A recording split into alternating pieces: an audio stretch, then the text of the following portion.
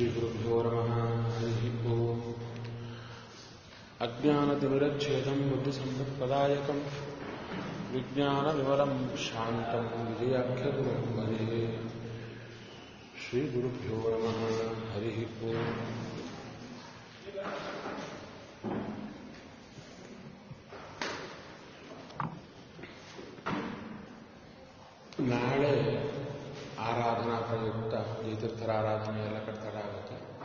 ನಾನು ಬೇರೆ ಕಡೆ ಹೋಗಬೇಕು, ನಾಳೆ ಒಂದು ದಿವಸ ಇರಲ್ಲ, ನಾಡದ್ದು ನಾಳದ್ದಿಲ್ಲಿನ ಕಾರ್ಯಕ್ರಮ ಇರಲ್ಲ. ನಾಳದ್ದಿಲ್ಲಿರುತ್ತೆ ಏಳನೇ ತಾರೀಕು ಇರುತ್ತೆ ನಾಳೆ ಐದು, ಐದಾ? ನಾಲ್ಕಲ್ಲ ಐದು, ಆರು, ಏಳು, ಮೂರು ದಿವಸ ಇರುತ್ತೆ. ನಾಲ್ಕು ಮಾತ್ರ ನಾಳೆ ಮಾತ್ರ ಇರುತ್ತೆ.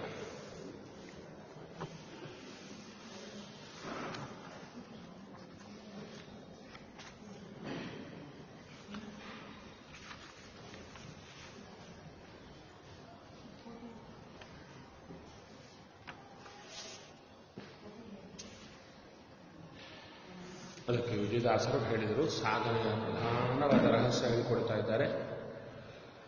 ಆದಿಮೂರ್ತಿ ನಮ್ಮ ವಿಜಯ ವಿಠಲರೇಯನ ಪಾದ ಕೊಂಡುವುದಕ್ಕೆ ಸುಲಭ ಸಾಧನ ಕೇಳಿ. ಸುಲಭವಾದ ಸಾಧನ ಯಾವುದು ಅಂದ್ರೆ ನೀವು ಮಾಡ್ತಾ ಇರೋದು ಸದಾ ಮಾಡಬೇಕಂತೆ, ಹೇಗೆ ಮಾಡಬೇಕು? ಶ್ರವಣವೇ ಮಹಾಮುಖ್ಯ. ಸದಾ ಕೇಳ್ತಾ ಇರಬೇಕು. ಶ್ರವಣವೇ ಮಹಾಮುಖ್ಯ ಕರ್ಮಜ್ಞಾನಿಗಳಿಗೆ. ಶ್ರವಣವಿಲ್ಲದ ತನಕ ಆವದು ದೊರಕದು. ಸರಿಯಾಗಿ ಗುರುಮುಖದಿಂದ ಚೆನ್ನಾಗಿ ಶ್ರವಣ ಮಾಡದಿದ್ದರೆ ಏನೂ ಸಿಗಲ್ಲ. ಶ್ರವಣದಿಂದಲೇ ಸತತ ಜ್ಞಾನ ಭಕುತಿ ವಿರಕುತಿ. ಶ್ರವಣದಿಂದಲೇ ಅಂದ್ರೆ ಸತತ ಶಬ್ದ ನಂತರ ಇದೆ. ಸತತ ಶ್ರವಣದಿಂದಲೇ ಇವತ್ತು ಕೇಳಿದೆ, ನಾಳೆ ಬಿಟ್ಟೆ. ಇವತ್ತು ಬಂದೆ, ನಾಳೆ ಇಲ್ಲ. ಆಹಾ, ಅದು ಪ್ರಯೋಜನಕಾರಿ ಅಲ್ಲ. ಸತತ ಹೇಗೆ ಶಿಲ್ಪಿ ಆ ಒಂದು ಶಿಲ್ಪವನ್ನು ತಯಾರು ಮಾಡಬೇಕಾದ್ರೆ ಸತತ ಅದರ ಮೇಲೆ ಹೊಡಿತಾ ಬರ್ತಾನೆ. ಅದೇ ಥರ ನಾವು ಕೂಡ ದಿನಾಲೂ ಶ್ರವಣ ಮಾಡಬೇಕು. ಶ್ರವಣ ಮಾಡುವ ಕಾಲಕ್ಕೆ ಹೇಳುವವರಲ್ಲಿ ಅವನೇ ನಿಂತು ಹೇಳಸ್ತಾನೆ ಕೇಳುವವರಲ್ಲಿ ನಿಂತು ಅವನೇ ಕೇಳಿಸ್ತಾನೆ. ತಿಳುವಳಿಕೆಯಲ್ಲಿ ಅವನೇ ಇದ್ದು ತಿಳುವಳಿಕೆಯನ್ನು ತರ್ತಾನೆ. ಅಷ್ಟೇ ಅಲ್ಲ, ಅವನೇ ನನ್ನಿಂದ ಶ್ರವಣ ಮಾಡಿಸ್ತಾ ಇದ್ದಾನೆ ಎಂಬ ಎಚ್ಚರ ಪೂರ್ವಕ ಶ್ರವಣ ಆಗಬೇಕು. ಹಾಗೆ ಹೇಳುವಂಥವರ ಬಾಯಿಯಿಂದ ಬರುವ ಏನು ನಾನಾ ಶಬ್ದಗಳು, ವರ್ಣಗಳು, ವಾಕ್ಯಗಳು ಏನೇನಿವೆ, ಅದೆಲ್ಲದರೊಳಗೆ ಭಗವದ್ ರೂಪಗಳು ಹೊರಟು ಬರ್ತಾ ನನ್ನ ಕಿವಿಯ ಮೂಲಕ ಹೃದಯವನ್ನು ಪ್ರವೇಶ ಮಾಡಿ ಅಲ್ಲಿ ಸ್ಥಿರವಾಗಿ ನಿಲ್ಲಲಿ ಅಂತ ದೇವರನ್ನ ಪ್ರಾರ್ಥನೆ ಮಾಡುತ್ತಾ, ಸ್ವಾಮಿ ಕೇಳಿದ್ದನ್ನ ಅನುಷ್ಠಾನಕ್ಕೆ ಕೊಡಿಸೋ ಎಂಬ ತೀವ್ರ ಪ್ರಾರ್ಥನೆ ಶ್ರವಣ ಮಾಡುವಾಗಲೇ ಇರಬೇಕು. ಶ್ರವಣದ ಪ್ರಧಾನ ಲಕ್ಷಣ ಕೇಳಿ ಬಿಡೋದಲ್ಲ. ಕೇಳಿ ಬಿಡೋದು ತಾತ್ಪರ್ಯ ಅಲ್ಲ.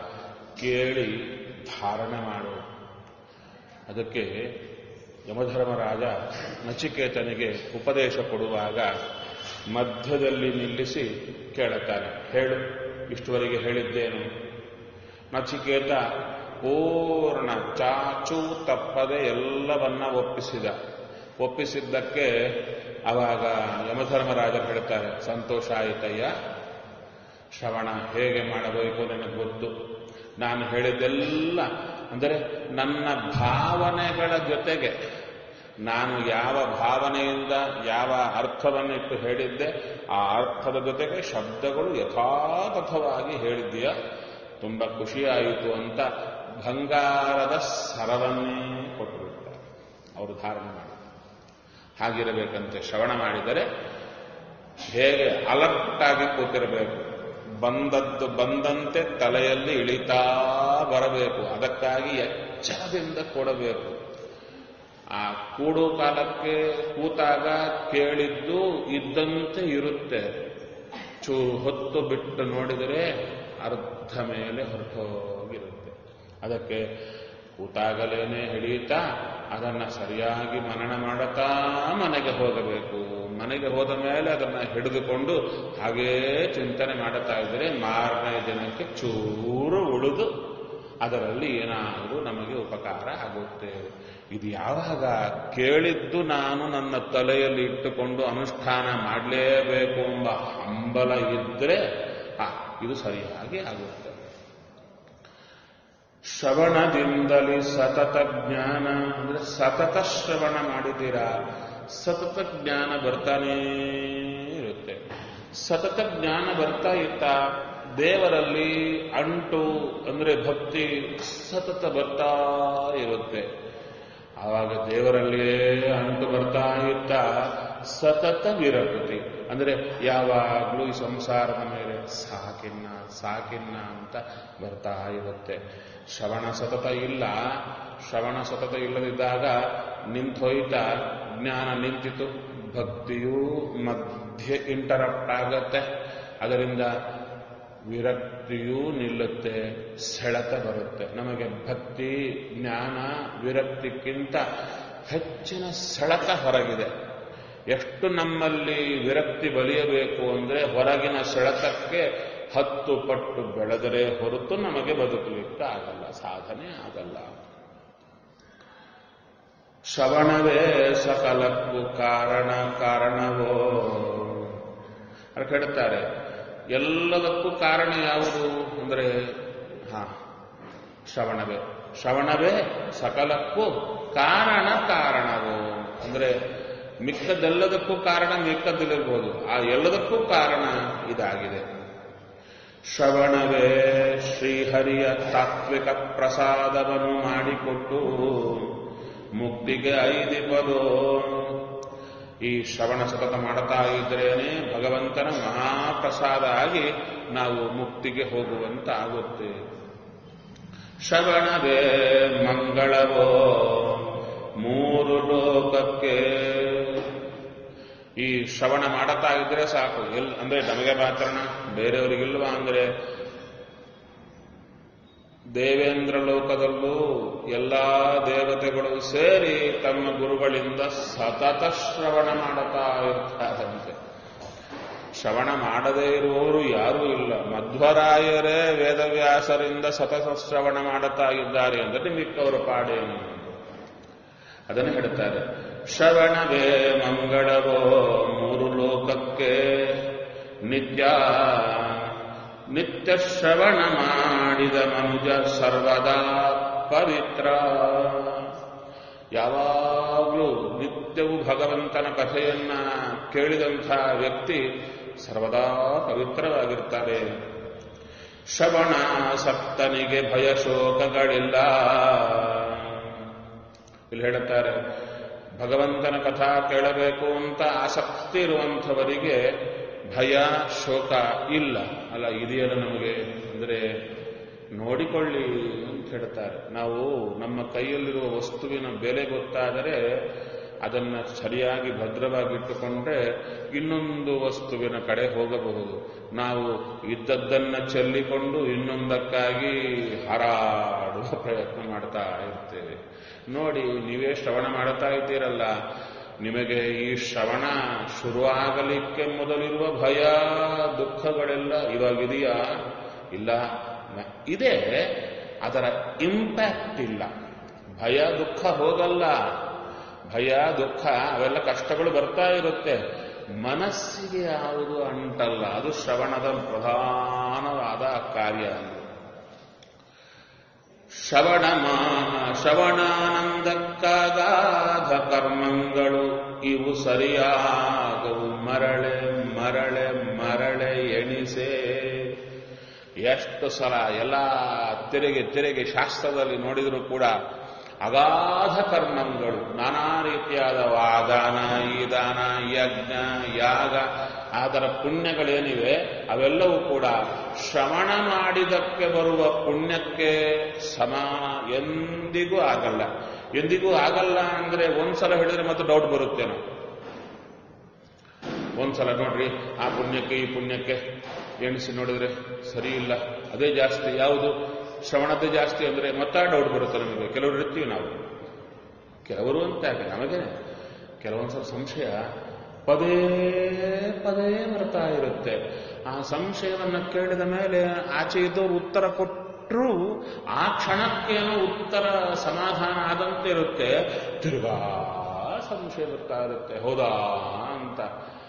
ಕೆಲವರಿಗೆ ಭಗವಂತ ಅವರ ಕರ್ಮಾನುಸಾರ ಒಂದು ಸಲ ಕೇಳಿದುಕೊಳ್ಳೆ, ನಿಶ್ಚಯ ಕೊಟ್ಬಿಡ್ತಾನೆ, ಸಂಶಯ ಬರಲ್ಲ. ಈ ಸಂಶಯ ಬರುವವರನ್ನ ನೋಡಿ ಸಂಶಯ ಬಾರದವರು ಚೂರು ಜೋರು ಮಾಡೋರಿದೆ. ಸಾಕು ಎಷ್ಟು ಸಲ ಕೇಳ್ತೀಯ? ಸುಮ್ಮನೆ ಒಣ ಕೇಳೋದು. ಆಚೆಯವರೆಗೆ ಏನು ಪೇಷನ್ಸ್ ಎಲ್ಲ ಹೋಗುವಂತೆ ಮಾಡ್ತೀರಾ ಅದಕ್ಕೆ ಹೇಳ್ತಾರೆ, ಗುರು ಒಂದವರ ಲಕ್ಷಣ ಏನು ಅಂತ ಹೇಳ್ತಾರೆ, ಆಚೆ ಇದ್ದ ವ್ಯಕ್ತಿ ಸ್ವತಂತ್ರನಾಗಿ ಸಂಶಯ ತಂದುಕೊಳ್ಳಲ್ಲ. ಹೌದ್ ತಾನೆ ಅವನ ಕರ್ಮಾನುಸಾರ ಭಗವಂತ ಹುಟ್ಟು ಹಾಕಿ ಹಾಕಿ ಹಾಕಿ ಕೊಡ್ತಾ ಇದ್ದಾನೆ.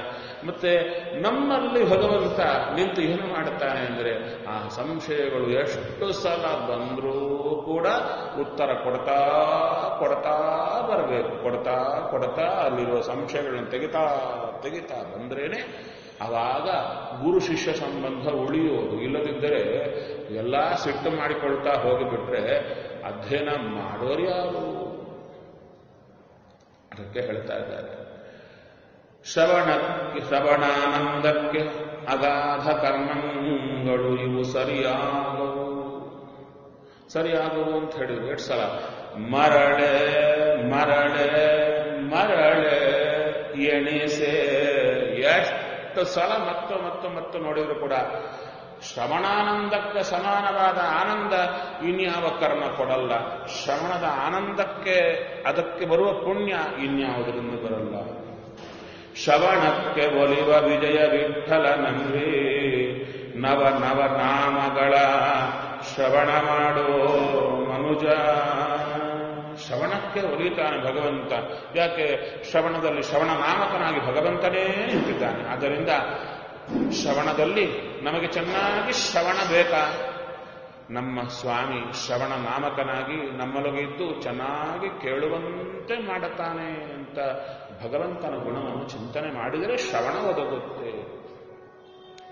ಹಾಗಾದರೆ ಶ್ರವಣ ಚೆನ್ನಾಗಿ ಮಾಡಬೇಕು. ಶ್ರವಣ ಮಾಡಬೇಕಾದ ರೀತಿಯನ್ನು ಹೇಳಿದರು. ಅದಕ್ಕೆ ಹೇಳ್ತಾರೆ, ಅನಿಷಿದ್ಧ ಕರ್ಮಗಳು ಕೈಕೊಂಡು ಚೆನ್ನಾಗಿ ಅನುಭವದಿಂದಲಿ ಇರಳು ಹಗಲು. ಮನದಲ್ಲಿ ಶ್ರೀಹರಿಯ ಧ್ಯಾನವ ಮಾಡಿ ಯೋಚನೆ ಮಾಡುವುದು ಸರ್ವವ್ಯಾಪ್ತ ತಿಳಿದು.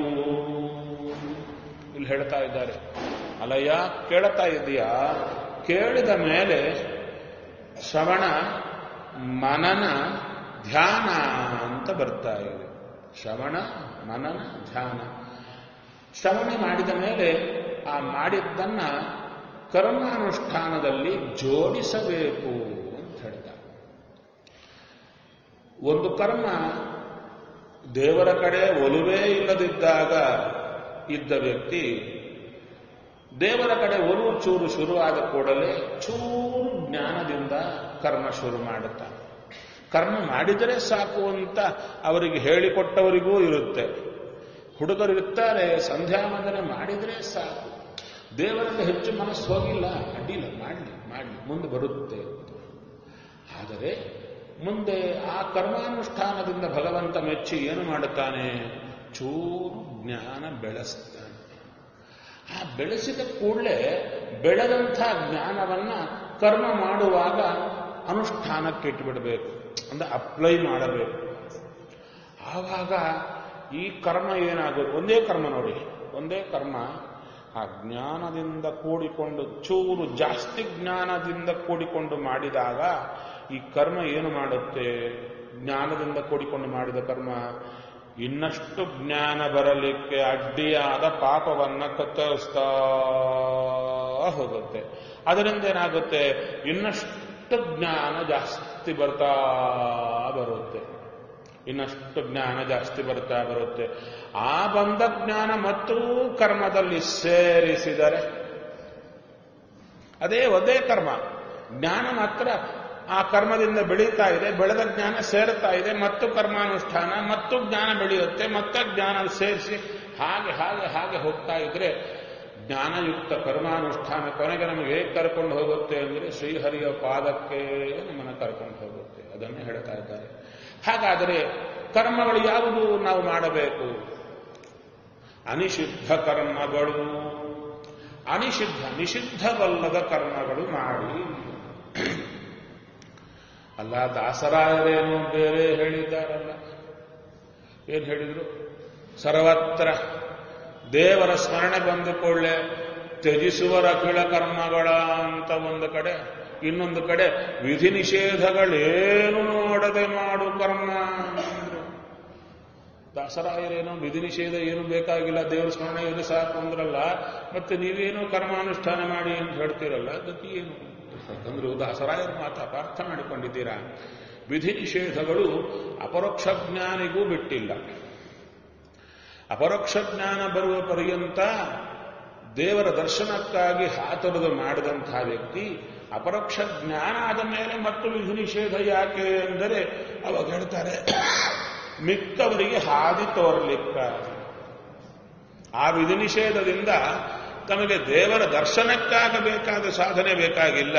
ಅದರಿಂದ ಮಿಕ್ಕವರಿಗೆ ಹಾದಿಯಾಗಿ ಅದರಿಂದ ದೇವರ ಪ್ರೀತಿಯಾಗುತ್ತೆ ಅಂತ ತಾವು ಕರ್ಮಾನುಷ್ಠಾನ ಬಿಡುವುದೇ ಮತ್ತೆ ವಿಧಿ ನಿಷೇಧಗಳೇನು ನೋಡದೆ ಮಾಡು ಅಂತ ವಿಧಿ ನಿಷೇಧಗಳು ಬಿಡಬೇಕು ಅಂತ ಹೇಳ್ತಾರಲ್ಲ ದಾಸರಾಯರು ಅಂತ ಬಹಳ ಜನ ಪ್ರಶ್ನೆ ಮಾಡ್ತಾರೆ. ಅದಕ್ಕೆ ಹರಿಕಥಾಮೃತಸರ ನಾವು ಹೇಳಿ ಹೋಗಲ್ಲ. ವಿಧಿ ನಿಷೇಧ ಬಿಟ್ಬಿಡು ಅಂತ ಹೇಳ್ತಾರೆ. ಹೇಗೆ ಬಿಡೋದು? ವಿಧಿ ನಿಷೇಧಗಳು ಬಿಡು ಅಂದ್ರೆ ದಾಸರಾಯರ ತಾತ್ಪರ್ಯ ಇಷ್ಟೇ. ವಿಧಿ ನಿಷೇಧ ಎರಡು ಬರ್ತಾ ಇದೆ. ಹಾ. ಒಂದು ವಿಧಿ ಮಾಡು ಅಂತ ಹೇಳಿದಾಗ, ಈ ಕೆಲಸ ಮಾಡು ಅಂತ ಹೇಳಿದಾಗ, ಅದರ ಹಿಂದೆ ಒಂದು ಬರ್ತಾ ಇರುತ್ತೆ. ಇದು ಮಾಡು, ಇದು ಬರುತ್ತೆ. ಇದು ಮಾಡು, ಇಷ್ಟು ಪುಣ್ಯ ಬರುತ್ತೆ, ಇಷ್ಟು ನಿಮ್ಗೆ ಒಳ್ಳೇದಾಗುತ್ತೆ, ಇವೆಲ್ಲ ಲಿಸ್ಟ್ ಕೊಟ್ಟಿರ್ತಾರೆ. ವಿಧಿ ಜೊತೆಗೇನೆ ಬರುತ್ತೆ. ನಿಷೇಧ ಕರ್ಮ ಮಾಡಿದರೆ ಅದರ ಜೊತೆಗೆ ಹೇಳ್ತಾರೆ, ಹೀಗೆ ಮಾಡ್ತೀಯಾ, ಹಾಳಾಗೋಗ್ತೀಯಾ, ಹೀಗೆ ಹಾಳಾಗೋಗ್ತೀಯಾ ಅಂತ ಅದಕ್ಕೆ ಹೇಳ್ತಾರೆ. ಹೌದು ತಾನೆ? ಹಾಗಾದರೆ ನಾವು ವಿಧಿಯನ್ನ ಮಾಡುವುದು ಯಾವುದಕ್ಕಾಗಿ? ಇಂಥ ಫಲ ಬರಲಿ ಅಂತ. ಸಾಮಾನ್ಯ, ಎಲ್ಲ ಅಷ್ಟೇ ಅಲ್ವಾ? ಪ್ರತಿಯೊಂದು ಕರ್ಮ ಯಾವುದೋ ಒಂದು ಎಕ್ಸ್ಪೆಕ್ಟೇಷನ್ ಇಟ್ಟುಕೊಂಡೇ ಮಾಡ್ತಾ ಇದ್ದೇವೆ. ಬಿಡೋದು ಕೂಡ ಏನೋ ಅನರ್ಥ ಆಗಬಾರದು ಅಂತಲೇ ಬಿಡುತ್ತಾ ಇದ್ದೇವೆ. ಇದನ್ನು ಬಿಡಿ ಗುರುದಾಸರಾಯ ದಾಸರಾಯ ಮತ್ತೆ ಹೇಗೆ? ವಿಧಿ ನಿಷೇಧಗಳು ಬಿಡಬೇಡಿ. ವಿಧಿಯನ್ನ ಒಂದು ಪ್ರಯೋಜನಕ್ಕಾಗಿ ಮಾಡುವುದು ಬಿಡಿ, ನಿಷೇಧವನ್ನು, ನಿಷಿದ್ಧವಾದ್ದನ್ನು ಬಿಡೋದು ಹೆದರ್ಕೊಂಡು ಬಿಡಬೇಡಿ. ಇನ್ಯಾವುದಕ್ಕೆ? ಶ್ರೀಹರಿ ಪ್ರೀತಿಗಾಗಿ ವಿಧಿಯನ್ನು ಮಾಡಿ, ನಿಷಿದ್ಧವನ್ನು ಶ್ರೀಹರಿ ಪ್ರೀತಿಗಾಗಿ ಬಿಡಿ. ಹೆದರೋದು, ಪ್ರಾಫಿಟ್ ಅಂತ ಹಿಗ್ಗೋದು ಬೇಡ. ಇದು ಬಿಡಬೇಕು ಅಂತ ದಾಸರಾಯರ ತಾತ್ಪರ್ಯ ಅಷ್ಟೇ ಹೊರತು ವಿಧಿ ನಿಷೇಧಗಳು ಎರಡೂ ಬಿಟ್ಟಿರಬೇಕು ಅಂತ ಹೇಳಿಲ್ಲ. ಅದಕ್ಕೆ ದಾಸರಾಯರು ಹೇಳ್ತಾರೆ ವಿಜಯರಾರು ಅನಿಷಿದ್ಧ ಕರ್ಮಗಳು ಕೈಕೊಂಡು ಹೇಗೆ ಚೆನ್ನಾಗಿ ಚೆನ್ನಾಗಿ ಕೈಕೊಳ್ಳೋದು ಅಂದ್ರೆ ಏನ್ರಿ? ಅಂದ್ರೆ ಕೇವಲ ಹರಿಪ್ರೀತ್ಯರ್ಥ, ಅದರ ಹಿಂದೆ ಧನ ಕನಕ ವಸ್ತು ವಾಹನಾದಿ ಸಕಲ ಸಂಪದ ವೃದ್ಧರ್ಥಂ. ಹೌದಾ? ಅದರಲ್ಲಿ ಮತ್ತು ಆಚಾರ ಬೈತಾ ಇರ್ತೀವಿ. ಇಷ್ಟು ಮಾಡಿಸಿದ್ರು ಪೂಜಾ. ನನ್ನ ಗೋತ್ರ ಹೇಳಿಲ್ಲ. ನನ್ನ ಗೋತ್ರ ನನ್ನ ಹೆಸರು ಹೇಳಲೇ ಇಲ್ಲ. ಆ ಪಾಪ ಹೇಳೇ ಇರ್ತಾರೆ. ಇವರದ್ದು ಎಲ್ಲ ಇರುತ್ತಾರೆ. ಮರಿಮಮ್ಮಗಂದು ಮರೆತು ಹೋಗಿರ್ತಾರೆ ಕೊನೆಗೆ. ಆ ಪೂಜಾ ಕೊನೆಗೆ, ಆಚಾರ್ಯ, ಮರಿಮಮ್ಮಗನ ಹೆಸರು ಗೋತ್ರ ಹೇಳಿಲ್ಲ, ಪುಣ್ಯ ಬರುತ್ತಾ ಇಲ್ವಾ? ಇಲ್ಲ ಈ ದಟ್ಟತನ ಬಿಡ್ರಿ ಅಂತ ಸ್ವಾಮಿ, ಇದು ಬಹಳ ಕಡೆ ಇರುತ್ತೆ. ಪರಮವ್ಯಾಪ್ತಿ ಪರಮವ್ಯಾಪ್ತಿ ಇರುತ್ತೆ. ನೋಡಿದಾಗ, ಸ್ವಾಮಿ, ಎಂಥ ಇದು ಮಾಡಿಸ್ತೇಪ ಅದು ಅವನೇ ಎಲ್ಲ ಕೊಡೋದು. ಅವರಲ್ಲಿ ನಿಂತು ಆ ಆಸಕ್ತಿ. ಅದರಲ್ಲಿ ಏನೊಂದು ತಾತ್ಪರ್ಯ? ನನ್ನ ಹೆಸರು ಗೋತ್ರ ಬಂದ್ಬಿಟ್ರೆ ಸಾಕು. ಇಲ್ಲಾಂದ್ರೆ ದೇವ್ರಿಗೆ ಗೊತ್ತಾಗಲ್ಲ. ಹೇಳ, ಹೇಳಿದ್ರೆ ಹೊರತು ದೇವ್ರಿಗೆ ಗೊತ್ತಾಗಲ್ಲ. ಹೇಳಿದ್ರೆ ನಿಮ್ಗೆ ಪರ್ಫೆಕ್ಟ್ ಬರುತ್ತೆ. ಅವನಿಗೆಲ್ಲ ಗೊತ್ತು. ಎಲ್ಲ ಗೊತ್ತು. ಇದೆಲ್ಲ ಎಲ್ಲಿ ಯಾಕೆ ಹೇಳಿದ್ರು ಅಂದ್ರೆ ಒಂದು ಆಸಕ್ತಿ ಬರಲಿ ಅಂತ ಎಲ್ಲ ಹೇಳಿದ್ರು. ಕರ್ಮ ಬಿಡೋದು ಬೇಡ. ಕರ್ಮ ಭಗವಂತನ ಪ್ರೀತಿಗಾಗಿ ಮಾಡೋಣ. ಅವನಿಗೆಲ್ಲ ಗೊತ್ತು. ಅವನ ಈ ಕರ್ಮ ಅಲ್ಲ ಹೇಳಾಯ್ತು ನಿಷಿದ್ಧಾಂತ ಅದಕ್ಕೆ ಇಂಗ್ಲಿಷ್ ಅದಕ್ಕೆ ಕರ್ಮಗಳು ಏನೊಂದು ಕರ್ಮ ಮಾಡು ಅಂತ ಹೇಳಿಲ್ಲ. ಹೌದು. ಭಾಷೆ ಆಹಾ ನಿಮ್ಮ ಪ್ರಶ್ನೆ ಇದು. ವಿಧಿ ಅಂತ ಏನು ಇರುತ್ತೆ, ಅದನ್ನು ಮಾಡು ಅಂತ ಹೇಳಬಹುದು ನಿಷಿದ್ಧವಲ್ಲತ್ತು ಅಂತಂದ್ರೂ ವಿಧಿ ಅಂದ್ರೂ ಒಂದೇ ಅಲ್ಲ, ಈ ಶಬ್ದ ಯಾಕೆ ಪ್ರಯೋಗ ಮಾಡಿದ್ರು ಅಂತ ಹೇಳಿದ್ರು ಅವಾಗ ಹೇಳ್ತಾರೆ ವಿಧಿ ಅಂತ ಸಾಮಾನ್ಯವಾಗಿ ಬರ್ತಾ ಇರುತ್ತೆ. ವಿಧಿ ವಾಕ್ಯಗಳು ಅಂತ. ಆದರೆ ಅದರಲ್ಲಿ ಕೆಲವು ಕೆಲವು ಕಾಲಕ್ಕೆ, ಕೆಲವು ಸಂದರ್ಭಕ್ಕೆ ತಕ್ಕಂತೆ ನಿಷಿದ್ಧ ಆಗಿರುತ್ತಂತೆ ನಿಷಿದ್ಧ ಆಗಿರುತ್ತೆ. ಅದಕ್ಕೆ ವಿಧಿ ಇದೆಯಲ್ಲ ಅಂಥೇಳಿ ಮಾಡ್ಲಿಕ್ಕೆ ಹೋದರೆ ನಿಷೇಧಕ್ಕೆ ಗುರಿಯಾಗ್ತೀವಿ. ಅದರಿಂದ ಅನಿಷಿದ್ಧ ಕರ್ಮಗಳು ಅಂದ್ರೆ ವಿಧಿಯು ಬಂತು. ನಿಷೇಧಗಳು ಹೋಯಿತು. ಅದು ಬೇರೆ ಅದು ಬೇರೆ ಅದು ಬೇರೆ. ಇದು ವಿಧಿ ನಿಷೇಧಗಳೆರಡು ಅದರಲ್ಲಿ ಅನಿಷಿದ್ಧ ಕರ್ಮ ಅಂದರೆ ನಿಷಿದ್ಧ ಮಾಡದ ಕರ್ಮ. ಹಾಗ ವಿಧಿ ಹೇಳಿ. ವಿಧಿ ಅಂದ್ರೇನೆ ವಿಧಿ ಅಂದ್ರೇನೆ ಅನಿಷಿದ್ಧ ಅಂತ ಅರ್ಥ ಆದರೆ ಮತ್ತು ಅನಿಷಿದ್ಧ ಅಂತ ಶಬ್ದ ಯಾಕೆ ಪ್ರಯೋಗ ಅಂತ ಬಂದರೆ ಅದು ಹೇಳ್ತಾರೆ ವಿಧಿ ಇದೆ. ಏನು? ದೇವರ ಪೂಜೆ ಮಾಡುವಾಗ ಯಾರ ಜೊತೆ ಮಾತಾಡಬಾರ್ದು? ವಿಧಿ ಇದ್ದೇ ಇದೆ. ವಿಧಿ ಇದ್ದೇ ಇದೆ. ಆದರೆ ಜ್ಞಾನಿಗಳು ಬಂದರೆ ಮಾತಾಡದೇ ಇದ್ರೆ ಅದು ನಿಷೇಧ. ಹೋಗ್ತಾನೆ. ಪೂಜಾ ಮಾಡುವಾಗ ಹೇಳಬಾರದು, ಮಾತಾಡಬಾರದು, ಇನ್ನೊಬ್ಬರಿಗೆ ನಮಸ್ಕಾರ ಮಾಡಬಾರದು, ಇವೆಲ್ಲ ಇದೆ. ಹೌದ್ತಾನೆ ಇದು ವಿಧಿ. ಆದರೆ ಆ ವಿಧಿಯನ್ನು ಇಟ್ಕೊಂಡು ಹೋಗಿದ್ದಕ್ಕೇನಾಯಿತು? ಇಂದ್ರದ್ಯುಮ್ನ ರಾಜನಿಗೆ ಇಂಥ ಇದಾಯಿತು ಅದಕ್ಕೆ ಅನಿಷಿದ್ಧ ಅಂದ್ರೆ ಏನಾಯಿತು? ವಿಧಿಯೂ ಬಂತು, ನಿಷೇಧಗಳು ಹೊರಟೋಯ್ದಲ್ಲಿಂದ ಅದಕ್ಕೆ ಅನಿಷಿದ್ಧ, ಅದಕ್ಕೆ ದಾಸರಾಯರ ಮಾತು ಅಷ್ಟೂ ಸೊಗಸಾಗಿ ತರ್ತಾರೆ. ಸರಿಯಾಗಿ ಕೇಳಿದ್ರಿ, ಪ್ರಶ್ನೆ ಸರಿಯಾಗಿ ಕೇಳಿದ್ರಿ. ಅದನ್ನ ಚೆನ್ನಾಗಿ ಅಂದ್ರೆ ಅನಿಷಿದ್ಧ ಕರ್ಮಗಳು ಅನ್ನೋದರಲ್ಲೇ ಅರ್ಥ ಇಷ್ಟು ಬಂತು. ಇನ್ನ ಚೆನ್ನಾಗಿ ಅಂದರೆ ಕೇವಲ ಹರಿಪ್ರೀತಿಗಾಗಿ. ಇನ್ನು ಹೇಳ್ತಾರೆ, ಚೆನ್ನಾಗಿ ಇನ್ನೊಂದ್ಸಲ. ಅನುಭವದಿಂದಲೇ. ಅನುಭವದಿಂದ ಮಾಡಯ್ಯ. ಅನಿಷಿದ್ಧ ಕರ್ಮಗಳು ಎಲ್ಲ ಕರ್ಮಾನುಷ್ಠಾನ ಮಾಡುವಾಗ ಅನುಭವಕ್ಕೆ ಪ್ರಾಧಾನ್ಯ ಕೊಡ್ತಾ ಬಂದಿದ್ದಾರೆ. ಅದು ಯಾವುದೇ ಆಗಲಿ, ಎಕ್ಸ್ಪೀರಿಯನ್ಸ್ ಅಂಬೋದು ಬಹಳ ಇಂಪಾರ್ಟೆಂಟ್. ಅದು ಸಂಧ್ಯಾವಂದನೆ ಆಗಿರ್ಬೋದು, ಅಡುಗೆ ಆಗಿರ್ಬೋದು ಇನ್ನೊಂದಾಗಿರ್ಬೋದು ಹೌದು ತಾನೇ ಎಕ್ಸ್ಪೀರಿಯನ್ಸ್ ಅಂತ ಬಹಳ ಇರುತ್ತೆ. ಎಕ್ಸ್ಪೀರಿಯನ್ಸ್ ಇರತಕ್ಕಂತಹ ವ್ಯಕ್ತಿ ಮಾಡೋ ಕೆಲಸಕ್ಕೂ, ಅದು ಇಲ್ಲದೆ ಇರುವ ವ್ಯಕ್ತಿ ಮಾಡೋ ಕೆಲಸಕ್ಕೂ ಬಹಳ ವ್ಯತ್ಯಾಸ. ಹೌದು ತಾನೆ? ಅದಕ್ಕೆ ಅನುಭವದಿಂದಲೇ. ಅಂದ್ರೆ ಅರ್ಥ ಏನಯ್ಯ? ಅಂದ್ರೆ ಕರ್ಮ ಮಾಡುವಾಗ ಆ ಭಗವಂತನ ಸ್ಮೃತಿ ಸದಾ ಇದ್ದರೆ ದೇವ ಏನು ಮಾಡುತ್ತಾನೆ? ಕರ್ಮ ಮಾಡುವಾಗ ತಾನೇ ಒಳಗಿದ್ದು ಪ್ರೇರಣೆ ಮಾಡ್ತಾ ಬರ್ತಾನೆ. ಇಷ್ಟು ಕಾಲ ಹೀಗೆ ಮಾಡಿದ್ಯಾ? ಇದರಲ್ಲಿ ಇದಿದೆ ನೋಡು ಇದಿದೆ ನೋಡು ಇದಿದೆ ನೋಡು ಅಂತ ನಮ್ಮೊಳಗೇ ನಿಂತು ಪಾಠ ಹೇಳಿಕೊಳ್ಳಿಕ್ಕೆ ಶುರು ಮಾಡ್ತಾನೆ. ಆ ಪಾಠಗಳನ್ನ ಕಿವಿ ಕೊಟ್ಟು ಕೇಳ್ತಾ ಕೇಳ್ತಾ ಬಂದ್ರೆ ಅನುಭವದ ಪಾಠ ಒಳಗೆ ಬರ್ತಾ ಬರುತ್ತೆ. ಅನುಭವದ ಪಾಠ ಬರ್ತಾನೆ ಬರುತ್ತೆ. ಹೌದಾ ಅಲ್ವಾ? ನಿಮಗೆ ಗೊತ್ತು. ಇದು ಶಾಸ್ತ್ರಕ್ಕೆ ಬೇಕಾಗಿಲ್ಲ. ಸಾಮಾನ್ಯ ಅಡಿಗೆ ಕೆಲಸ ಆಗಲಿ, ಇನ್ನೊಂದು ಕೆಲಸ ಆಗಲಿ, ಮತ್ತೊಂದು ಕೆಲಸ ಆಗಲಿ. ಆ ಕೆಲಸ ಮಾಡುವಾಗ ಕೆಲವು ಕೈ ಸುಟ್ಕೊಂಡು ಮಾಡೋದು ಅನುಭವ ಬಂದಿರುತ್ತೆ. ಹೌದಲ್ಲೋ ಕೈ ಸುಟ್ಕೊಂಡು ಮಾಡೋದೆಲ್ಲ ಅನುಭವ ಬಂದಿರುತ್ತೆ. ಅಷ್ಟಿದ್ರೂ ಕೈ ಸುಟ್ಕೊಂತಾ ಇರ್ತದೆ ಹೌದಲ್ವ? ಆದರೆ ಆ ಕರ್ಮದಲ್ಲಿ ಭಗವಂತನ ಚಿಂತನೆ ಮಾಡ್ತಾ ಮಾಡ್ತಾ ಬಂದರೆ ಹೆಚ್ಚಿಗೆ ಹೆಚ್ಚಿಗೆ ಹೊಳೆತ ಬರ್ತಾ ಬರುತ್ತೆ. ಆ ಹೊಳೆತ ಸ್ವಾಮಿ ಕೊಡ್ತಾನೆ ಅದು ಅನುಭವ ಅಂದ್ರು. ಅನುಭವದಿಂದಲೇ ಇರುಳು ಹಗಲು. ಏನು ಮಾಡಬೇಕು? ಮನದಲ್ಲಿ ಶ್ರೀಹರಿಯ ಧ್ಯಾನವ ಮಾಡಿ. ಆ ಕರ್ಮಗಳು ಮಾಡುವಾಗ ಹಗಲು, ಇರುಳು, ಆ ಶ್ರೀಹರಿಯ ಧ್ಯಾನ ಮನದಲ್ಲಿ ಮಾಡಬೇಕಂತೆ ಅಲ್ಲ, ಕರ್ಮಗಳು ಮಾಡುವಾಗ ಇರುಳು, ಹೋಗಲು ಧ್ಯಾನ ಹೇಗೆ ಕೊಡುತ್ತೆ? ಅಂದರೆ ಇಲ್ಲಿ ಹೇಳುತ್ತಾರೆ ಸಾಮಾನ್ಯ ಧ್ಯಾನವನ್ನು ಹೇಳ್ತಾ ಇದ್ದಾರೆ. ಧ್ಯಾನ ಅಂದರೆ ಸತತ ದೇವರ ನೆನಪೇ ಧ್ಯಾನ, ಅಖಂಡ ಸ್ಮೃತಿಯೇ ಧ್ಯಾನ. ಮತ್ತೆ ಅಖಂಡ ಸ್ಮೃತಿ ನಮಗೆ ಹೇಗೆ ಬರುತ್ತೆ ಅಂದರೆ, ಒಂದೇ ಕಡೆ ಕೂತು ಮಾಡಿದ್ರೆ ಬರುತ್ತೆ, ಇಲ್ಲ ಅಂದಿಲ್ಲ ಅದು ನಮಗಾಗಲ್ಲ. ಹೌದ್ ತಾನೆ? ನಮಗಾಗಲ್ಲ ಅಂಬುದು ನಮಗೆ ಚೆನ್ನಾಗಿ ಗೊತ್ತಾಗ್ಬಿಟ್ಟಿದೆ. ಮತ್ತೇನು ಮಾಡಬೇಕು? ಅವಾಗ ಹೇಳ್ತಾರೆ ಆ ಕೆಲಸಗಳಲ್ಲೇ ಮಾಡುವ ಕೆಲಸಗಳೇ ಪರಂಪರೆ ಪರಂಪರೆ ಇರುತ್ತೆ. ಬಹಳ ಜನ ಅನ್ನೋದಿದೆ. ಏನ್ ಮಾಡ್ಬೇಕ್ರಿ? ನಮ್ಮ ಜೀವನ ಎಲ್ಲ ಈ ಕೆಲಸಗಳು ಮಾಡೋದ್ರಲ್ಲೇ ಮುದುಗುಡ್ತಾ ಇದೆ. ದೇವರದ್ದೇನೂ ಆಗ್ತಾ ಇಲ್ಲ. ಅವಾಗ ಕೇಳಿದ್ರು, ಈ ಕೆಲಸಗಳಾದ್ರೂ ಕಂಟಿನ್ಯೂ ಆಗಿದೆಯಾ? ಹೌದ್ರಿ, ಬೆಳಿಗ್ಗೆ ಎದ್ದಾಗಲಿಂದ ಮಲಗುವ ಪರ್ಯಂತ ಎಲ್ಲ ಕೆಲಸಗಳೇ ಇರೋದು. ಮತ್ತೆ ಆ ಕೆಲಸಗಳಲ್ಲೇ ದೇವರನ್ನು ನೋಡಿದರೆ ಕೆಲಸಗಳು ಆಯಿತು, ದೇವರ ನೆನಪು ಸತತ ಬಂತಲ್ಲ. ಕೆಲಸಗಳು ಬೇರೆ, ದೇವರ ನೆನಪು ಬೇರೆ ಅಂತಿಟ್ಟುಕೊಂಡದ್ದಕ್ಕೆ ಈ ಫಜೀತಿ ಆಗ್ತಾ ಇದೆ. ಆ ಕೆಲಸಗಳಲ್ಲೇ ದೇವರನ್ನ ನೋಡುತ್ತಾ ಹೋದರೆ ಎಷ್ಟು ಸಾಧನೆ. ಒಂದು ಕಡೆ ಕೆಲಸವೂ ಆಯಿತು, ಕೆಲಸದಲ್ಲೇ ಮನಸ್ಸು ಬಂತು, ದೇವರ ಸ್ಮರಣೆಯೂ ಚೆನ್ನಾಗಿ ಬಂತು. ಅದನ್ನ ಅನುಭವದಿಂದಲೇ ಚೆನ್ನಾಗಿ ಇರುಳು ಹಗಲು, ಚೆನ್ನಾಗಿ ಮನದಲ್ಲಿ ಶ್ರೀಹರಿಯ ಧ್ಯಾನವ ಮಾಡಿ, ಚೆನ್ನಾಗಿ ಯೋಚನೆ ಮಾಡುವುದು.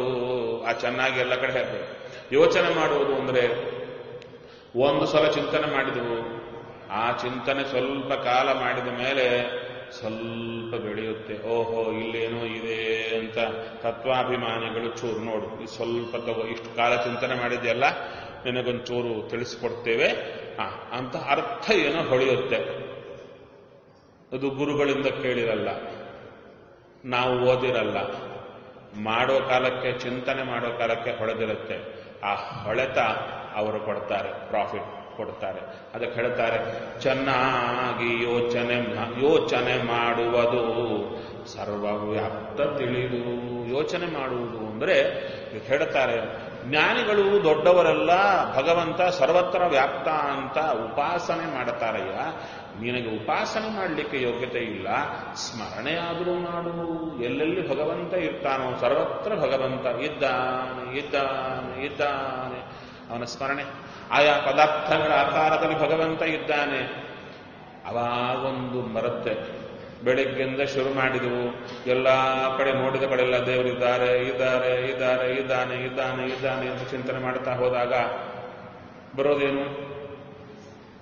ಬೇಸರ. ನಾಲ್ಕು ಸಲ ಮಾಡಿದ ಕಡೆ ಸಾಕು ದೇವರು ಇದ್ದೇ ಇರ್ತಾನೆ ಅದಕ್ಕೆ ಸುಮ್ಮನೆ ಒಣ ಇದ್ದಾನೆ ಇದ್ದಾನೆ ನಾವು ಇದ್ದಾನೆ ಎಂದು ಇಲ್ಲಿಗೆ ಇರೋದು ಇಲ್ಲ ಅಂತ ಹೊರಟೋಗೋದೇನಿಲ್ಲ ಇದ್ದೇ ಇರ್ತಾನಲ್ವಾ? ಕೆಲವರು ಇರ್ತಾರೆ. ಬಂದೇ ಬರ್ತಾರೆ ಬಿಡಿ, ಅದಕ್ಕೇನಾಯ್ತು? ನಾವು ಕರಿಬೇಕಾಗಿಲ್ಲ ಆ ಥರ ಇಲ್ಲ ಅಂದ್ರೆ. ಆ ಬೇಸರ ಬಂದಾಗೆಲ್ಲ ಒಂದು ಟ್ಯಾಬ್ಲೆಟ್ ಹಾಕೋಬೇಕು ನೋವು ಬಂದಾಗೆಲ್ಲ ಚೂರು ಟ್ಯಾಬ್ಲೆಟ್ ಹಾಕೊಂತಾರಲ್ಲ ಆ ಥರ. ಏನದು? ಈ ಬೇಸರ ಬೇಡ. ನನ್ನ ಬದುಕಿರೋದೇ ಇವನ ಸ್ಮರಣೆಗೆ. ಇಷ್ಟು ಕಾಲ ಇವನ ಸ್ಮರಣೆಯೇ ನನ್ನ ಬದುಕಿನ ಪ್ರಯೋಜನ ಎಂಬುದು ಗೊತ್ತಿಲ್ಲದೆ ಕತ್ತೆ ಅಂತೆ ಬದುಕಿದೆ.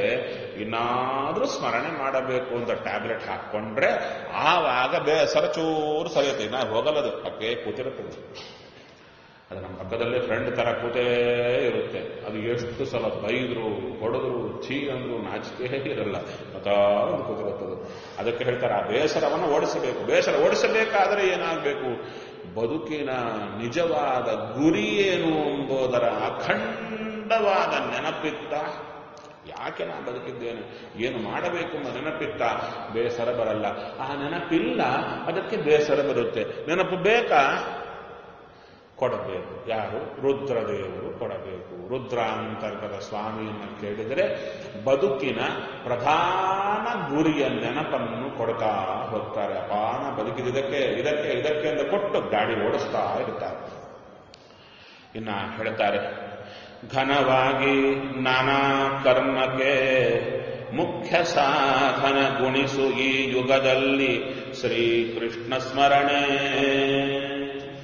ಈ ಎಲ್ಲ ಕರ್ಮಗಳು ಮಾಡುವಾಗ ಘನವಾಗಿ, ನಾನಾ ಕರ್ಮಕ್ಕೆ ಮುಖ್ಯ ಘನವಾಗಿ ಸಾಧನ. ಯಾವುದು ಅಂದರೆ ಬೇಕಾದ್ರೆ ಎಲ್ಲ ಪುಸ್ತಕಗಳು ತೆಗೆದು ನೋಡು.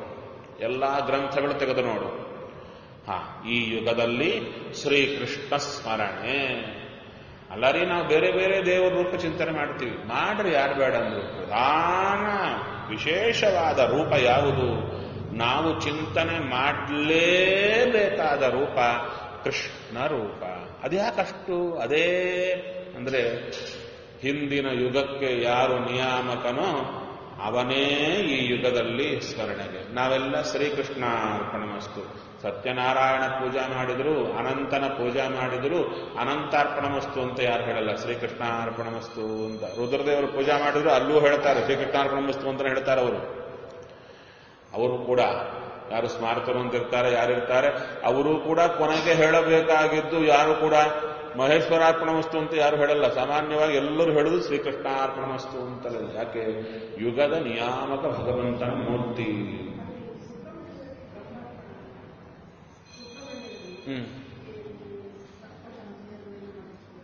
ಅದು ಗೊತ್ತಿಲ್ಲದವರು ಬ್ರಹ್ಮಾರ್ಪಣಮಸ್ತು ಅಂತಾರೆ? ಗೊತ್ತಿದ್ದವರು ಗೊತ್ತಿದ್ದವರು, ಹಿಂದಿನವರು, ಅದ್ವೈತಿಗಳಾದರೂ, ದ್ವೈತಿಗಳಾದರೂ ಸ್ಮಾರ್ತರಾದರೂ ಶ್ರೀವೈಷ್ಣವರಾದರೂ, ಯಾರೇ ಆದರೂ, ಹಿರಿಯರಿದ್ರೆ ಅವರು ಯಾರು ಬ್ರಹ್ಮಾರ್ಪಣ ಯಾವುದಂಬಲ್ಲ, ಎಲ್ಲರೂ ಶ್ರೀಕೃಷ್ಣಾರ್ಪಣಮಸ್ತು ಅಂತ ಹೇಳೋದೇನೇ ಪದ್ಧತಿ. ಇನ್ನು ಮಧ್ಯೆ ಬಂದವರು ಅವರು ಟೆಸ್ಟ್ ಮಾಡ್ಕೊಂಡು ಹೋಗಿರ್ಬೋದು. ಇಲ್ಲ ಅಂದಿಲ್ಲ. ಇದೇ ಹಿಂದಿನ ಇದು. ಮುಖ್ಯ ಸಾಧನ, ಗುಣಿಸು ಈ ಯುಗದಲ್ಲಿ ಶ್ರೀಕೃಷ್ಣ ಸ್ಮರಣೆ. ಹೇಗೆ ಮಾಡಬೇಕು? ಕ್ಷಣ ಒಂದು ಮಾಡಿದರೆ. ಈ ಯುಗದಲ್ಲಿ ಕೃಷ್ಣ ಸ್ಮರಣೆ ಒಂದು ಕ್ಷಣ ಮಾಡಿದರೆ ಎಷ್ಟು ಬರುತ್ತೆ? ಅನಂತಾನಂತ ಬಹು ಜನ್ಮದಲ್ಲಿ ಮಾಡಿದ ಸತ್ಕರ್ಮವು ಎಣಿಕೆ ಮಾಡಿದರಾಕೆ ಇದಕ್ಕೆ ಸರಿಬಪ್ಪದೆ ಹೇಳ್ತಾರೆ. ಅನಂತಾನಂತ ಅನಂತ ಅನಂತ ಅಂತ ಹೇಳಿ ಸರಿ ಹೋಗ್ತಿತ್ತು. ಅನಂತ ಜನ್ಮದಲ್ಲಿ ಇನ್ನ ಸಾಕಾಗಿಲ್ಲ ಅವರಿಗೆ ಅನಂತ ಅನಂತ, ಇನ್ನ ಸಾಕಾಗಿಲ್ಲ ಅವರಿಗೆ ಅನಂತ ಅನಂತ ಬಹು ಜನ್ಮದಲ್ಲಿ, ಏನು ಆ ಜನ್ಮದಲ್ಲಿ ಒಂದು ಪಾಪಕರ್ಮ ಮಾಡಿರಬಾರ್ದು. ಎಲ್ಲ ಸತ್ಕರ್ಮಗಳೇ ಮಾಡಿರ್ಬೇಕು. ಹೇಳ್ತಾರೆ ಅನಂತ ಅನಂತ ಬಹು ಜನ್ಮದಲ್ಲಿ ಮಾಡಿದ ಸತ್ಕರ್ಮವೋ ಎಣಿಕೆ ಮಾಡಿದರಾಗೆ ಇದಕ್ಕೆ ಸರಿಪಪ್ಪದೆ ಕಲಿಯುಗದಲ್ಲಿ ಶ್ರೀಕೃಷ್ಣನ ನಾಮ ಒಂದು ಕ್ಷಣದಲ್ಲಿ ಕೂಗಿ ಕರೆದರೆ ಅಷ್ಟು ಬರುವಷ್ಟು ಪುಣ್ಯ, ಅಷ್ಟು ಕರ್ಮ ಅನಂತ ಅಂದು ಜನ್ಮದಲ್ಲಿ ಸತ್ಕರ್ಮ ಮಾಡಿದರೂ ಬರಲ್ಲ. ಅದು ಕಲಿಯುಗದಲ್ಲಿ ಬರುತ್ತೆ. ಮನುಜ ಕೇಳಲು ಮಾತು ಅತಿರಹಸ್ಯ. ಅಲ್ಲ ಇದು ಬಹಳ ರಹಸ್ಯ ಹೇಳ್ತೇನೆ ಕೇಳು. ಪ್ರಾಣವವಿಡಿದು ವಾಯು ಜಠರವನೆ ತುಂಬಿ ಗಣನೆ ಇಲ್ಲದ ತಪಸ್ಸು ಮಾಡಲ್ಯಾಕೆ ಏನು ಗಾಳಿಯನ್ನು ತುಂಬಿ ಪ್ರಾಣಾಯಾಮ ಮಾಡಿ, ಓ, ತಪಸ್ಸು ಮಾಡ್ತೀವಲ್ಲ? ಅಂದ್ರೆ ಮಾಡಬೇಡಿ ಎನ್ನುವ ಉದ್ದೇಶ ಅಲ್ಲ. ಅದಕ್ಕಿಂತ ಇದು ಜಾಸ್ತಿ ಕೂತಿದೆ ಅಂತ ಹೇಳ್ತಾ ಇದ್ದಾರೆ. ಪ್ರಣವವಿಡಿದು ವಾಯು ಜಠರವನೆ ತುಂಬಿ ಗಣನೆ ಇಲ್ಲದ ತಪಸ್ಸು ಮಾಡಲ್ಯಾಕೆ? ಏನಾಗುತ್ತೆ? ಕೊನೆಗೆ ಪೂರೈಸಲು ನಮಗೆ ಬೇಕಾದ ಪುಣ್ಯ, ಭಗವಂತನ ದರ್ಶನ, ಗುರುಗಳ ದರ್ಶನ, ಭಗವಂತನ ದರ್ಶನಕ್ಕೆ ಬೇಕಾದ ಪುಣ್ಯ, ಆ ಕರ್ಮದಿಂದ, ಪ್ರಾಣಾಯಾಮದಿಂದ, ಏನು ಓಂಕಾರದಿಂದ, ವಾಯುವನ್ನು ತುಂಬಿ ಏನು ಮಾಡಿದ್ರು, ಏನು ಪುಣ್ಯ ಬರುತ್ತಲ್ಲ, ಬರಲ್ಲ ಅಂತ ಹೇಳಿಲ್ಲ, ಬರುತ್ತೆ. ಆದರೆ ಅದು ಕೊನೆಗೆ ಪೂರೈಸದು ಅಂದರೆ ನಮಗೆ ಬೇಕಾದ್ದು ಕೊಡಲ್ಲ ಪುಣ್ಯ. ಪುಣ್ಯ ಕೊಡುತ್ತೆ, ಎಷ್ಟು ಬೇಕೋ ಅಷ್ಟು ಕೊಡಲ್ಲ. ಕರ್ಮಠನಾದರೆ ಬರೀ ಕರ್ಮನೇ ಮಾಡ್ತಾ ಕೂತ್ರೆ ಏನಾಗುತ್ತೆ? ದಣಿದು ಕರ್ದಮ ವಾರಿ ಕೂಡಿದಂತೆವೋ. ತುಂಬಾ ದಣಕೊಂಡು ಸ್ನಾನ ಮಾಡಬೇಕು ಅಂತ ಹೋಗಿ ಕೆಸರಲ್ಲಿ ಮುಳುಗಿದರೆ ಏನಾದ್ರೂ ಇದೆಯಾ? ದಣಕೊಂಡವನಿಗೆ ಶುದ್ಧವಾದ ನೀರಲ್ಲಿ ಸ್ನಾನ ಮಾಡಿದರೆ ಅವನ ಮಲ ಹೋಗುತ್ತೆ, ಶಾರೀರಕ ಮಲ ಹೋಗುತ್ತೆ ಆದರೆ ಅಷ್ಟೇ ಅಲ್ಲದೆ ಅವನ ದಣುವಿಕೆ ಹೋಗುತ್ತೆ. ಕೆಸರು ನೀರಲ್ಲಿ ಮುಳುಗಿದ್ರೆ ಇನ್ನಷ್ಟು ಅಪ ಅಂತ ಬರುತ್ತಾನೆ. ಮೈ ತುಂಬಾ ಇದಾಗಿ ಬಿಡುತ್ತೆ, ಮರ ತುಂಬಿ ಬಿಡುತ್ತೆ.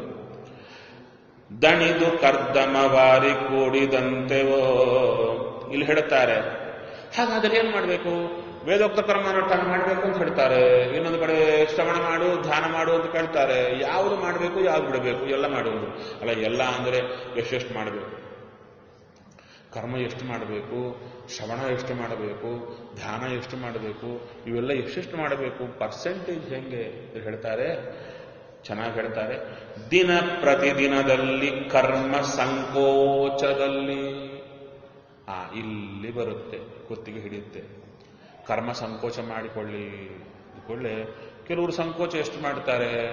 ಅಂದರೆ ಆಚಮನ ಮಾಡಿದರೆ ಸಾಕು. ಬರೇ ಒಂದು ಸ್ನಾನ ಮಾಡಿ ಮುದ್ರೆನಾಮ ಹಾಕೊಂಡ್ಬಿಟ್ಟು ಒಂದು ಆಚಮನ ಮಾಡಿ ದೇವರಿಗೆ ಸ್ಯಾಲ್ಯೂಟ್ ಮಾಡಿ, ಹಾ, ಹೋಗಿ ಸಿಡಿ ಹಾಕೊಂಡು ಕೇಳ್ತಾ ಇರ್ತಾರೆ. ಶ್ರವಣ ಮುಖ್ಯ. ನೀವೇ ಹೇಳಿದ್ರ, ಸಂಕೋಚ ಮಾಡಿ, ಕರ್ಮ ಸಂಕೋಚ ಮಾಡಿ. ಅಂದ್ರೆ ಎಷ್ಟೆಲ್ಲ ಮಾಡಲೇಬೇಕೋ ಅದನ್ನ ಸಂಕೋಚ ಅಂತ ಕರೆದ್ರು. ಅಂದ್ರೆ ಇವಾಗೆ ನಮಗೆ ಅನೇಕ ಮಂಜರಿಯಲ್ಲಿ ಕೊಟ್ಟಿದ್ದು ವಿಸ್ತಾರ ಅಂತ ತಿಳ್ಕೊಬೇಡಿ, ಅದು ಬಹಳ ಸಂಕೋಚ ಮಾಡಿ ಕೊಟ್ಟಿದ್ದದು. ಅದರಲ್ಲಿ ಎಷ್ಟು ಸಂಕೋಚ ಮಿನಿಮಮ್ ದೇವರ ಪೂಜಾ ಮಾಡಲೇಬೇಕು. ಆದ ಮೇಲೆ ಅಲ್ಲ ದೇವರ ಪೂಜಾ ಮಾಡಬೇಕು ಅಂತ ಕೊಟ್ಟಾಗ ಮತ್ತು ಅದಕ್ಕೊಂದು ಇಪ್ಪತ್ತು ಪ್ರತಿಮಾ, ನಲವತ್ತು ಪ್ರತಿಮಾ, ಅದಕ್ಕೊಂದು ಅರವತ್ತು ಸಾಲಿಗ್ರಾಮ ಎಲ್ಲ ಇಟ್ಕೊಂಡು ಮಾಡಿ ವಿಸ್ತಾರ ಪೂಜೆ, ಒಂದು ಐದು ಗಂಟತ್ತು ಕೊಡ್ಬೇಡ ಸಾಕು. ದೇವರು ಬೇಕು, ಆ ಪ್ರತಿಮಾದಲ್ಲಿ ದೇವರನ್ನು ನೋಡಬೇಕು, ಆ ಸಾಲಿಗ್ರಾಮ ದೇವರು ನೋಡಬೇಕು, ಪೂಜೆ ಆಗಬೇಕು. ಎಷ್ಟು ಮುಗಿಬೇಕು ಅಷ್ಟು ಕೊಡು. ಇದು ಕರೆಕ್ಟಾಗಿ ನಮ್ಮ ಅರಣ್ಯಕಾಚಾರ ಕೊಟ್ಬಿಡ್ತಾರೆ. ಇಷ್ಟೊತ್ತು ಜಪ ಮಾಡು. ಇಷ್ಟೊತ್ತು ಪೂಜಾ ಮಾಡು, ಇಷ್ಟೊತ್ತು ಇದು ಮಾಡು, ಇಷ್ಟಕ್ಕೊಂದು ಜಾಸ್ತಿ ಬೇಡ ನಿನ್ನ ಹಣೆ ಬಾರಕ್ಕಿಲ್ಲ. ಹೆಚ್ಚು ಗಹೆಯಲ್ಲಿ ಕೊಡಬೇಕು. ಧ್ಯಾನದಲ್ಲಿ ಹೆಚ್ಚು ವಿಶೇಷವಾಗಿ ಗ್ರಂಥ ಅವಲೋಕನದಲ್ಲಿ ಕೊಡು, ಶ್ರವಣದಲ್ಲಿ ಕೊಡು, ಚಿಂತನೆಯಲ್ಲಿ ಕೊಡು. ಕರ್ಮ ಎಷ್ಟು ಮಾಡಲೇಬೇಕು? ಮಾಡು. ಯಾವುದೂ ಬಿಡಬೇಡ. ಸಂಕೋಚ ಮಾಡು ಒಂದು. ಪ್ರದಿನ ಪ್ರತಿದಿನದಲ್ಲಿ ಕರ್ಮ ಸಂಕೋಚದಲ್ಲಿ ವನಧಿಶಯನನ ನಾಮ ಮಂಗಳ ಶ್ರವಣ ಈ ಭಗವಂತನ ಕಥಾಶ್ರವಣ, ಶಾಸ್ತ್ರದ ಚಿಂತನ ಇವೆಲ್ಲ ಹೆಚ್ಚು ಮಾಡಬೇಕು. ಅನಿಲನ್ನ ಪಾದವ ಸ್ಮರಿಸುತ್ತ ಮಾಡಿದ ಮನುಜಂಗೆ ಇದು ಹೇಳ್ತಾರೆ. ನಾವೆಲ್ಲ ಮಾಡ್ತೀವಿ. ಏನದು? ದಿನಪ್ರದದಲ್ಲಿ ಕರ್ಮ ಸಂಕೋಚ ಮಾಡಿಕೊಂಡು ದೇವರ ನಾಮ ಶ್ರವಣ ಎಲ್ಲ ಮಾಡ್ತಾ ಬರ್ತಾ ಇರ್ತೀವಿ. ಆದರೆ ಪ್ರತಿಯೊಂದು ಕಡೆ ಅನಿಲನ್ನ ಪಾದವ ಸ್ಮರಿಸುತ್ತ ಮಾಡಿದ ಮನುಜಗೆ ವಾಯುದೇವರನ್ನ ಯಾವಾಗ? ಅಂದರೆ, ಆ ಕರ್ಮ ಮಾಡುವಾಗ, ನೆನೆಯುವಾಗ, ಶ್ರವಣ ಮಾಡುವಾಗ ವಾಯುದೇವರೇ ಮಾಡಿಸ್ತಾ ಇದ್ದಾರೆ. ಈಗ ಬರಲ್ಲ ನೋಡಿ. ಇದು ಬರಲ್ಲ. ಬೇಕಾದ್ರೆ ಕರ್ಮ ಮಾಡುವಾಗ ಬಾಯಿಯಿಂದ ಭಾರತೀರಣ ಮುಖ್ಯ ಪ್ರಾಣಾಂತರ್ಗತ ಅಂತ ಬಂದಿರಬಹುದು. ಕರ್ಮ ಮಾಡುವಾಗ ವಾಯುದೇವರ ನೆನಪು ವಾಯುದೇವರೇ ಮಾಡಿಸ್ತಾ ಇದ್ದಾರೆ ಎಂಬ ನೆನಪು ಬರಲ್ಲ. ಬಾಯಿಂದ ಭಾರತೀರವಣ ಮುಖ್ಯ ಪ್ರಾಣಾಂತರ್ಗತ ಅಂತ ಬಂದಿರುತ್ತೆ. ಹೌದಾ? ಅಲ್ಲ ಹೇಳಿ. ಸ್ಲಿಪ್ ಆಗಿ ಹೋಗ್ತಾ ಇರುತ್ತೆ. ವಾಯುದೇವರ ನೆನೆಯಲಿದೆ. ನಾವು ವಾಯುದೇವರ ನೆನೀತಾ ಇದ್ದೀವಿ. ಎಲ್ಲಿ? ಕರ್ಮ ಸ್ಟಾರ್ಟಿಂಗ್ ಅಲ್ಲಿ ಭಾರತೀಯರನ್ನ ಮುಖ್ಯ ಪ್ರಾಣ ಅಂತರ್ಗತ ಅಂತ ಹೇಳ್ತೀವಿ. ಯಾಕಂದ್ರೆ ವಾಯುದೇವರಲ್ಲೋ ನಾವೆಲ್ಲೋ? ಕರ್ಮ ಮುಗಿಯೋ ಪರ್ಯಂತ ಇದು ತಲೆ ಎಲ್ಲೋ ಮಾರ್ಕೆಟಲ್ಲಿ ಓಡಾಡ್ತಾ ಇರುತ್ತೆ. ವಾಯುದೇವರ ಸ್ಮರಣೆ ಇಲ್ಲ. ಮತ್ತು ಮುಗಿದ ಮೇಲೆ ಕೃಷ್ಣಾರ್ಪಣ ಬಿಡ್ಲಿಕ್ಕೆ ಅವಾಗ ಬಾಯಿಯಿಂದ ಬರ್ತಾ ಇರುತ್ತೆ. ಹೌದಾ? ವಾಯುದೇವ, ನೀವೇ ಹೇಳಿ. ಬೆಳೆ, ಆ ಕರ್ಮ ಮುಗಿದು, ಆ ಮೊದಲಿಂದ ಕೊನೆ ಪರ್ಯಂತ ವಾಯುದೇವರ ನೆನಪು ನಮ್ಮ ತಲೆಯಲ್ಲಿರುತ್ತಾ ಇರಲ್ಲ. ಬಾಯಲ್ಲಿರುತ್ತೆ. ಅದಕ್ಕೆ ಹೇಳ್ತಾ ಇದ್ದಾರೆ. ಅನಿಲನ್ನ ಪಾದವ ಸ್ಮರಿಸುತ್ತ ಮಾಡಿದ ಮನುಜರಿಗೆ ಈ ರೀತಿಯಾಗಿ ಕರ್ಮಾನುಷ್ಠಾನ ವಾಯುದೇವರನ್ನ ಕರ್ಮದೊಳಗೆ, ತಮ್ಮೊಳಗೆ ಯಾರು ನೆನಪಿಟ್ಟುಕೊಂಡು ಮಾಡುತ್ತಾ ಬರ್ತಾರೆ, ಅವರಿಗೇನು ಫಲ? ಅಂದ್ರೆ ಮೊದಲು ಎಕ್ಸ್ಟ್ರಾ ಪ್ರಾಫಿಟ್ ಕೊಟ್ಬಿಡ್ತಾರೆ. ವಿಷಯ ಜನನವಾಗದು. ಬೇರೆ ಕಡೆಗೆ ಮನಸ್ಸು ಹೋಗೋದೇ ಇಲ್ಲ. ಯಾಕ್ರಿ ಹೋಗಲ್ಲ. ಅಂದ್ರೆ ವಾಯುದೇವರು ಆಕಣಾಶ್ಮ ಸಮ ಅಂತ. ದೈತ್ಯರು ಅವರ ಮನಸ್ಸನ್ನ ಬೇರೆ ಕಡೆ ಸೆಳಿಲಿಕ್ಕೆ ನೋಡಿದರೆ, ಅವರನ್ನ ಮುಟ್ಟಲಿಕ್ಕೆ ನೋಡಿದರೆ ದೈತ್ಯರೇ ಪುಡಿ ಪುಡಿ ಆಗಿಬಿಡುತ್ತಾರೆ ಅಷ್ಟೇ ಅಲ್ಲ, ವಾಯುದೇವರ ಚಿಂತನೆ ಯಾರು ಮಾಡುತ್ತಾರೋ ಅವರನ್ನು ಮುಟ್ಲಿಕ್ಕೆ ಬಂದ ದೈತ್ಯರ ಕರ್ಮಗಳು ಹಾಗೆ ಆಗುತ್ತೆ. ಹಾಗಾದರೆ ನಮ್ಮಲ್ಲಿ ವಿಷಯದ ಕಡೆ ನಾನಾ ರೀತಿಯಾದ ಆಸೆಗಳು, ಬರಬಾರದ ಆಸೆಗಳು ಹುಟ್ಟುತ್ತಾ ಇವೆ ಅಂದರೆ ನಾವು ಕರ್ಮಾನುಷ್ಠಾನ ಮಾಡುವಾಗ ವಾಯುದೇವರ ಪಾದ ನೆನೆಯುತ್ತಾ ಇಲ್ಲ ಅಂತ ಅರ್ಥ ಹಾಗಾದರೆ ಕರ್ಮಾನುಷ್ಠಾನ ಮಾಡುವಾಗ ಒಳಗೆ ವಾಯುದೇವರ ನೆನಪು ಯಾರಿಗಿರುತ್ತೋ ಅವರಿಗೆ ಆ ವಿಷಯದ ನಾನಾ ನೆನಪುಗಳು ಕಡಿಮೆ ಕಡಿಮೆ ಕಡಿಮೆ ಕಡಿಮೆ ಆಗ್ತಾ ಹೋಗುತ್ತೆ. ಅಂದ್ರೆ ಟೆಸ್ಟ್ ಅನ್ನ ಆಯಿತು ಅಂದ್ರೆ ಅನ್ನಕ್ಕಿಟ್ಟಿವಿ ಅಕ್ಕಿ ತೊಳೆದಿಟ್ಟಿವಿ, ಆಯ್ತಾ ಅಂದ್ರೆ ಮುಟ್ಟಿ ನೋಡಬೇಕಲ್ಲ, ಇದು ಮುಟ್ಟಿ ನೋಡೋದು. ಓಹೋ, ನಮ್ಮಲ್ಲಿ ವಿಷಯಗಳ ಆಸೆ ತುಂಬಾ ಬರ್ತಾ ಇದೆಯಾ? ಅಂದ್ರೆ ಅಲ್ಲೇನೋ ಸ್ವಲ್ಪ ರಿಪೇರ್ ಮಾಡಬೇಕು, ವಾಯುದೇವರ ಸ್ಮರಣೆ ಕಡಿಮೆ ಆಗಿದೆ, ಬರೇ ಬಾಯಿಂದ ಬರ್ತಾ ಇದೆ ಅಂತ ಅರ್ಥ. ಮನಸ್ಸಿಗೆ ಬಂತ, ಅದು ಕಡಿಮೆ ಆಗುತ್ತೆ. ಮಿನಗುವ ಇಂದ್ರಿಯಗಳು, ಮಿನಗುವ ಇಂದ್ರಿಯಂಗಳು, ಮನ, ಪ್ರಾಣ, ಆತ್ಮ ಘನ ಸ್ಥೈರ್ಯ ಸ್ಥೈರ್ಯ ಹ್ರೀ ಶ್ರೀ ಸತ್ಯವೋ ವಿನಯ ವಿದ್ಯದ ಧರ್ಮಜ್ಞಾನಾಚಾರದಿ. ಇನಿತು ಸಿದ್ಧಿಸಿ ಅವಗೆ ಕೆಡದಿಪ್ಪವೋ. ವಾಯುದೇವರನ್ನ ಯಾರು ಕರ್ಮಾನುಷ್ಠಾನ ಮಾಡುವಾಗ, ಜ್ಞಾನ ಪಡ್ಕೊಳ್ಳುವಾಗ, ವಾಯುದೇವರನ್ನು ಅವಶ್ಯವಾಗಿ ವಾಯುದೇವರೇ ಕೊಡ್ತಾ ಇದ್ದಾರೆ, ವಾಯುದೇವರೇ ಕೊಡ್ತಾ ಇದ್ದಾರೆ ಅಂತ ನೆನಪಿದ್ದು ಯಾರು ವಾಯುದೇವರ ನೆನಪಿಂದ ಪಡ್ಕೊಳ್ತಾರೋ ಅವರಿಗೆ ಮಿನಗುವ ಇಂದ್ರಿಯಗಳು ಇಂದ್ರಿಯಗಳು ಹೊಳೆಯುತ್ತಾ ಇರುತ್ತೆ. ಅಂದ್ರೆ ಹೊಳೆಯೋದು ಅಂದ್ರೆ ಏನು? ಅಂದ್ರೆ ಇಂದ್ರಿಯಗಳೆಲ್ಲ ದೇವರ ಕಡೆಗೆ ಏನೇನು ಕರ್ಮಗಳಾಗ್ತಾ ಇರುತ್ತೆ, ದೇವರ ಚಿಂತನೆ ಬರ್ತಾ, ತಾನಾಗಿ ಬರ್ತಾ ಇರುತ್ತೆ. ಹಾಗೆ ಮನ, ಪ್ರಾಣ, ಆತ್ಮ, ಘನ, ಧೈರ್ಯ, ಸ್ಥೈರ್ಯ, ಹುರಿ, ಶ್ರೀ, ಮಾಡಬಾರದ ಕೆಲಸದಲ್ಲಿ ಹುರಿ, ನಾಚಿಕೆ, ಶ್ರೀ, ಒಳ್ಳೆ ಸಂಪತ್ತು, ಸತ್ಯವೋ ವಿನಯ ವಿದ್ಯದ ಧರ್ಮಜ್ಞಾನ ಆಚಾರದಿ. ಅರೆ ವಿದ್ಯದ ಧರ್ಮಜ್ಞಾನ ಅಂತಲ್ಲ, ವಿನಯದಿಂದ ಕೂಡಿಕೊಂಡ ವಿದ್ಯಾ, ಅದರಿಂದ ಕೂಡಿಕೊಂಡ ಧರ್ಮ, ಅದರಿಂದ ಕೂಡ ಜ್ಞಾನ, ಅದರಿಂದ ಕೂಡಿಕೊಂಡ ಆಚಾರ. ಎಷ್ಟೇ ಆಚಾರ, ಜ್ಞಾನ ಎಲ್ಲ ಇದ್ರೂ ಕೂಡ ವಿನಯ ಇರಬೇಕು. ಏನದು? ನನ್ನ ಎಲ್ಲ ಇದೆ. ಇನ್ಯಾರಿಗೂ ಇಷ್ಟಿಲ್ಲ ಅಂತ ಅಹಂಕಾರ ಬರಬಾರದು. ಎಲ್ಲೆಲ್ಲಿ ಹೆಚ್ಚಿಗೆ ಕಂಡ್ರೆ ನಮಗಿಂತ ತಲೆಬಾಗಬೇಕು ಪರಮಾತ್ಮನ ಸಂಕಲ್ಪ, ದೊಡ್ಡವರಿದ್ದಾರೆ ಅಂತ ನಮಸ್ಕಾರ ಮಾಡಬೇಕು. ಹೀಗೆ ಆಗಿಬಿಡುತ್ತಂತೆ. ಇನಿದು ಸಿದ್ಧಿಸಿ. ವಾಯುದೇವರ ಸ್ಮರಣೆಯಿಂದ ಇಷ್ಟು ಸಿದ್ಧಿ ಆಗುತ್ತೆ. ಅವಾಗೆ ಕೆಡದಿಪ್ಪವೋ? ಸಿದ್ಧಿ ಮತ್ತೆ ಕೆಟ್ಟೋಗುತ್ತೇನೋ? ಇಲ್ಲ, ಕೆಟ್ಟೋಗೋದೇ ಇಲ್ಲ. ಜನನ ಹಾನಿ ನಾಶ, ವಿಜಯ ವಿಠಲರೇಯನ ಗುಣ. ಕರ್ಮಾವಳಿ ಮಹಿಮೆ ಶ್ರವಣ ಮಾಡ್ಪನೆ ಧನ್ಯ.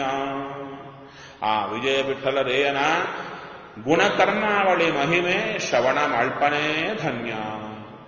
ಹೌದು, ಹೇಗೆ? ನನ್ನ ಒಳಗಿರುವಂಥ ಬಿಂಬಮೂರ್ತಿ ಇವನ ಗುಣಗಳನ್ನೇ ಇಲ್ಲಿ ನಾನಾ ಅವತಾರಗಳಲ್ಲಿ ಅವನೇ ಬಂದಿದ್ದಾನೆ, ಅವನ ಗುಣಗಳನ್ನೇ ಹೇಳ್ತಾ ಇದ್ದಾರೆ ಅಂತ ತಿಳಿಯುತ್ತಾ, ಮಧ್ಯೆ ಮಧ್ಯೆ ಯಾರಾದರೂ ಮಕ್ಕಳಿದ್ರೆ ಪಕ್ಕದಲ್ಲಿ ಅವರ ಕುರಿತು ಆ ಸ್ಕೂಲಿಗೆ ಹೋಗಿರ್ತಾರೆ. ಸ್ಕೂಲಿಗೆ ಹೋದಾಗ ಆ ಮಗು ಏನಾದರೂ ಒಳ್ಳೆ ಸ್ಕಾಲರ್ಶಿಪ್ಪು ಅದು ಇದೋ ಪಡ್ಕೊಂಡಿದ್ರೆ ಅವರಮ್ಮ ಮಗುವನ್ನು ಕರ್ಕೊಂಡು ಹೋಗಿದ್ರೆ, ಎಲ್ಲರ ಮಧ್ಯೆ ನಿಮಗೆ ನಿಮ್ಮ ಮಗುವಿಗೆ ಸ್ಕಾಲರ್ಶಿಪ್ ಕೊಡ್ತೀವಿ ಅಂತ ಅನೌನ್ಸ್ಮೆಂಟ್ ಕೊಟ್ಟಿದ್ರೆ, ಮೊದಲೇ ಹೇಳಿದ್ರೆ, ಆ ಸಭೆ ತುಂಬಿದ ಸಭೆಯಲ್ಲಿ ಎಲ್ಲರೂ ಸೇರಿದಾಗ ಅಲ್ಲಿ ಕೂತ್ಕೊಂಡು ಮೈಕಲ್ಲಿ ಇಂಥ ಹುಡುಗ ಹೀಗೆ ಮಾಡಿದ, ಹಾಗೆ ಮಾಡಿದ ಅಂತ ಹೇಳುವಾಗ ಆ ತಾಯಿ ಮಗು ಕಡೆ ನೋಡಿ ನೋಡಿ, ನೋಡೋ ನಿಂಗೂ ಹೇಳ್ತಾ ಇದ್ದಾರೆ ನೋಡು ನೋಡು ನೋಡು ಅಂತ ಹೇಗೆ ಸಂತೋಷ ಪಡ್ತಾಳೋ, ಮಗುವಿಗೂ ಹೇಳ್ತಾಳೋ, ನೋಡೋ ಹೇಳ್ತಾ ಇದೆ ಅಂತ ಹೇಳಿ.